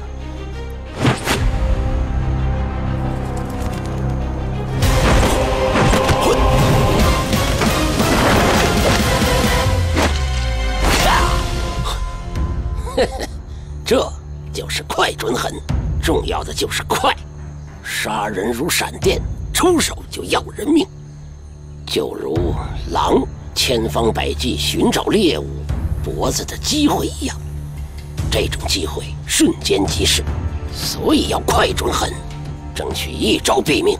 行走江湖，关键就是生与死，你也试试。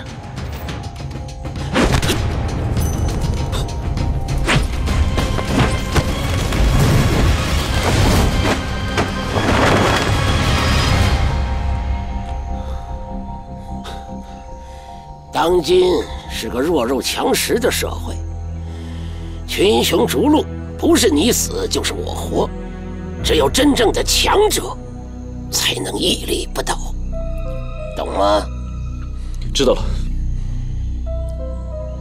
你知道你学鹰爪功的最高境界是什么吗？作为你而言，鹰爪功的最高境界。就是，当你学会了这门功夫以后，把我杀死，这才是你的最高境界。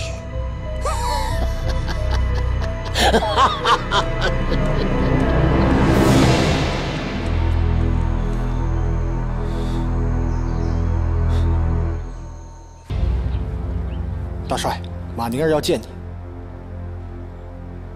他一个人吗？是的。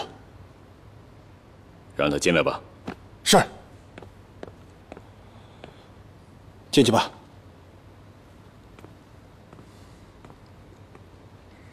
大帅，殷啸天不知道你来找我吧？大帅果然高明。这只豹子，自从到了我这之后。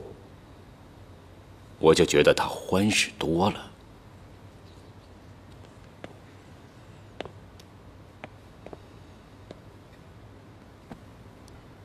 什么事啊？说吧。属下斗胆来见大帅，是知道大帅想得到龙头杖，而我刚好有个办法，能帮大帅实现愿望。好，说说看。龙头杖就藏在朱飘逸的房间里，只是。我现在被排挤出国术馆，缺少一个进入国术馆的机会。但如果让殷啸天队长和朱飘逸举行一场比武，把所有人的注意力都放在这场比武上，而我，我就有机会潜入朱飘逸的房间，去偷龙头杖。为什么是殷啸天和朱飘逸比武？而不是你和朱飘逸比武呢，大帅，我比殷啸天队长更熟悉国术馆的地形和人员分布。再说，我的武功不如队长，让队长和朱飘逸进行比武，更有机会把朱飘逸给打胜。一旦朱飘逸受了伤，他就不敢跟大帅动什么歪脑筋了。有意思，有意思。怪不得殷小天能把你收入麾下，可是你怎么能保证你一定能完成任务呢？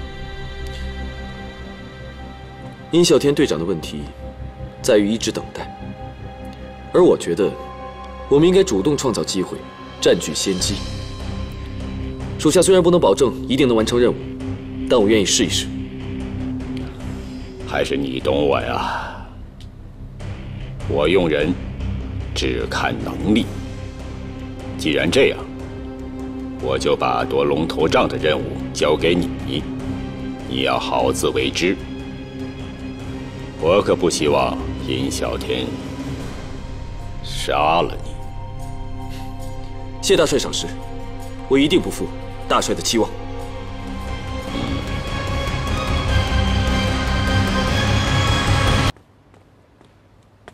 大帅，您找我有何吩咐？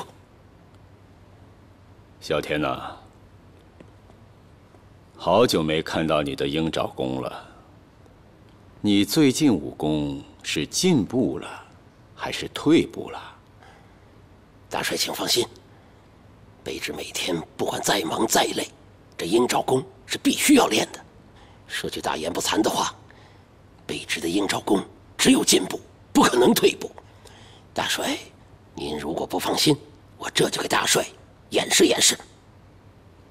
哎，不用了，小天呐，虽然你一直都没有帮我拿到龙头杖，但是我还是很欣赏你的。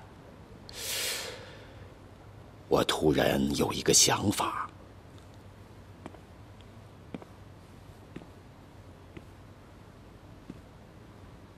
我想让你去国术馆，跟朱飘逸去比武。大帅，您这话是什么意思？难道是要通过这次比武，给朱飘一点颜色看吗？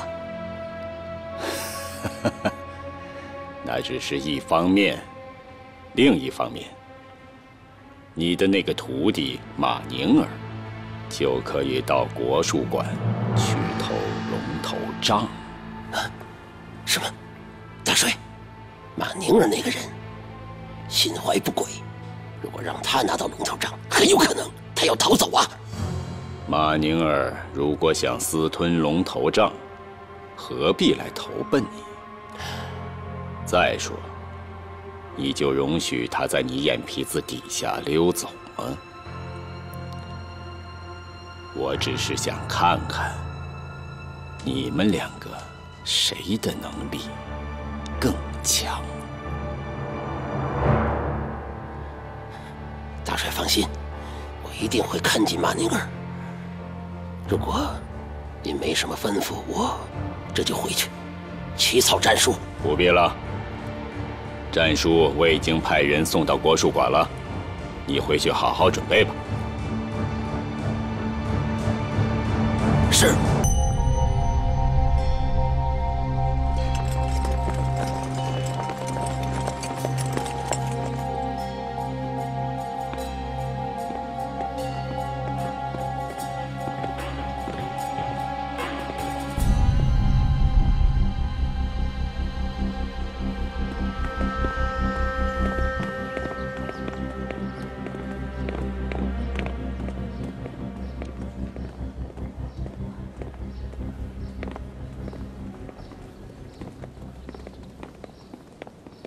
张大帅，哼，别来无恙啊！好，好的很。你怎么样啊？自然是要比你过得好啊！曹大帅不在大本营待着，跑到上海滩来，有何贵干呢？最近我对于打仗越来越不感兴趣了，倒是想好好的研究研究我们中国的国术。不错，不错，发扬国粹嘛。尹小天，见过曹大帅。曹大帅，久闻大名，今日一见，幸会。这位就是想要挑战太极的人吗？正是在下。不是挑战，是打败。请张大帅入座吧。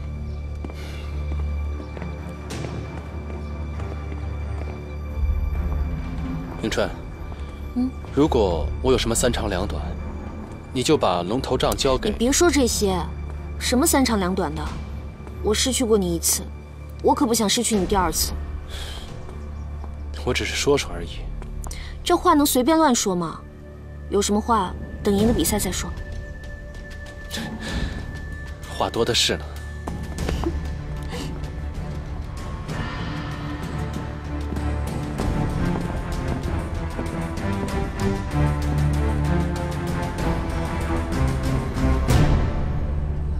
朱飘逸，准备好了吗？准备好了。好，那就开始吧。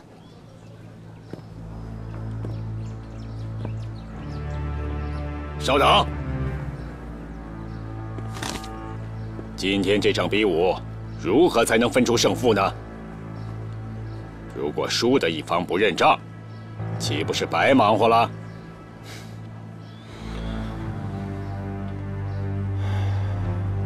张大帅，您这句话是什么意思？曹大帅，你我都是带过兵、打过仗的人，战场上输的一方只有一个结果，那就是死。所以，今天这场比武应该改成生死决斗。您的意思是，这场比武还得签个生死状吗？嗯，生死状，飘逸哥，他们这是要置你于死地呀！是啊，飘逸，绝对不能签。嗯，朱飘逸，你要是害怕，现在后悔还来得及。朱飘逸，你怎么看？如果你不想签这个生死状的话，我不会勉强你。既然我答应比武，早已把生死置之度外，我同意。飘逸哥，好，来人呐，上笔墨。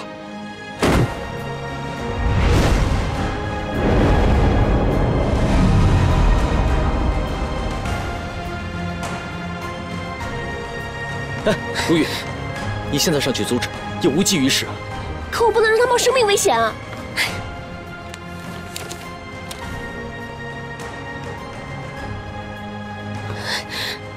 有的时候，男人就是为了争一口气。相信我，飘逸不会有事的。怎么，朱飘逸？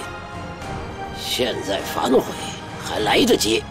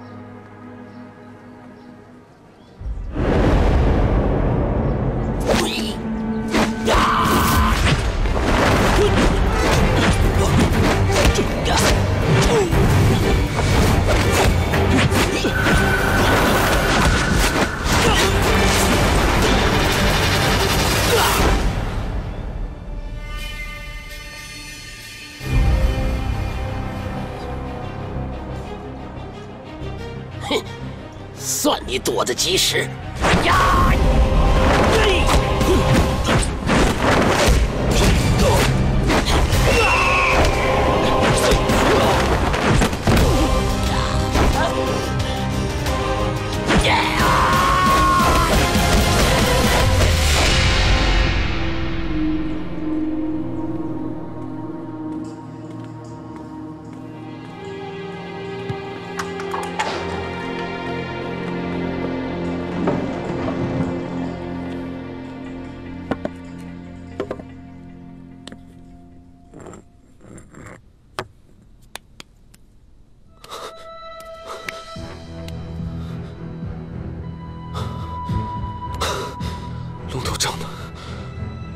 龙头杖呢？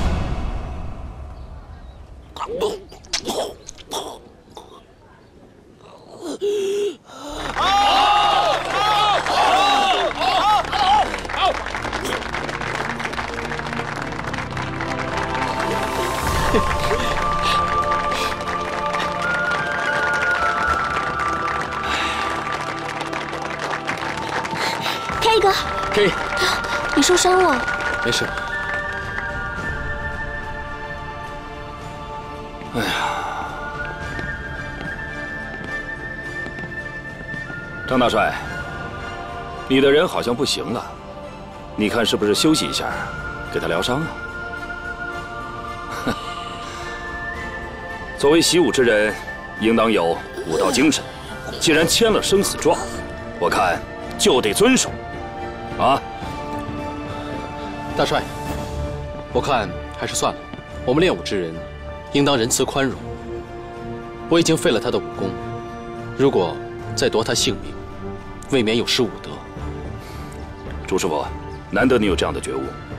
那好，听你的。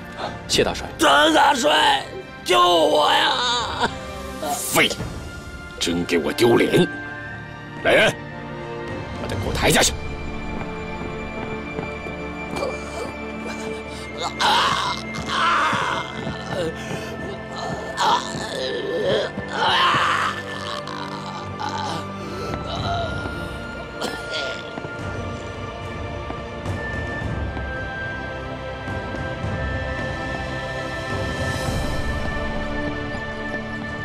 飘逸，真是好样的！这次你可是为了你们陈氏太极争了光了。是啊，飘逸，我爹要是知道这事儿，肯定为你高兴。周师傅，难得你年纪轻轻就有这样的武学造诣，可真算是我们中华武学的骄傲，佩服，佩服。谢大帅。不过，不是我武功超群，而是太极拳本身博大精深，我所发挥的只是它小小的一部分而已。对了，哎，今天晚上把宴席摆上，让大家一起高兴高兴，乐呵乐呵，啊！嗯。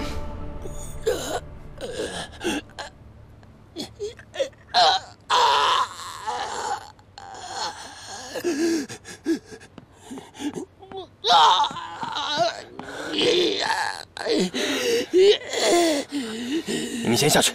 是。队长，你我我已经成了废人了。马宁儿是个王八蛋，千万不要去找马宁儿，你不不是他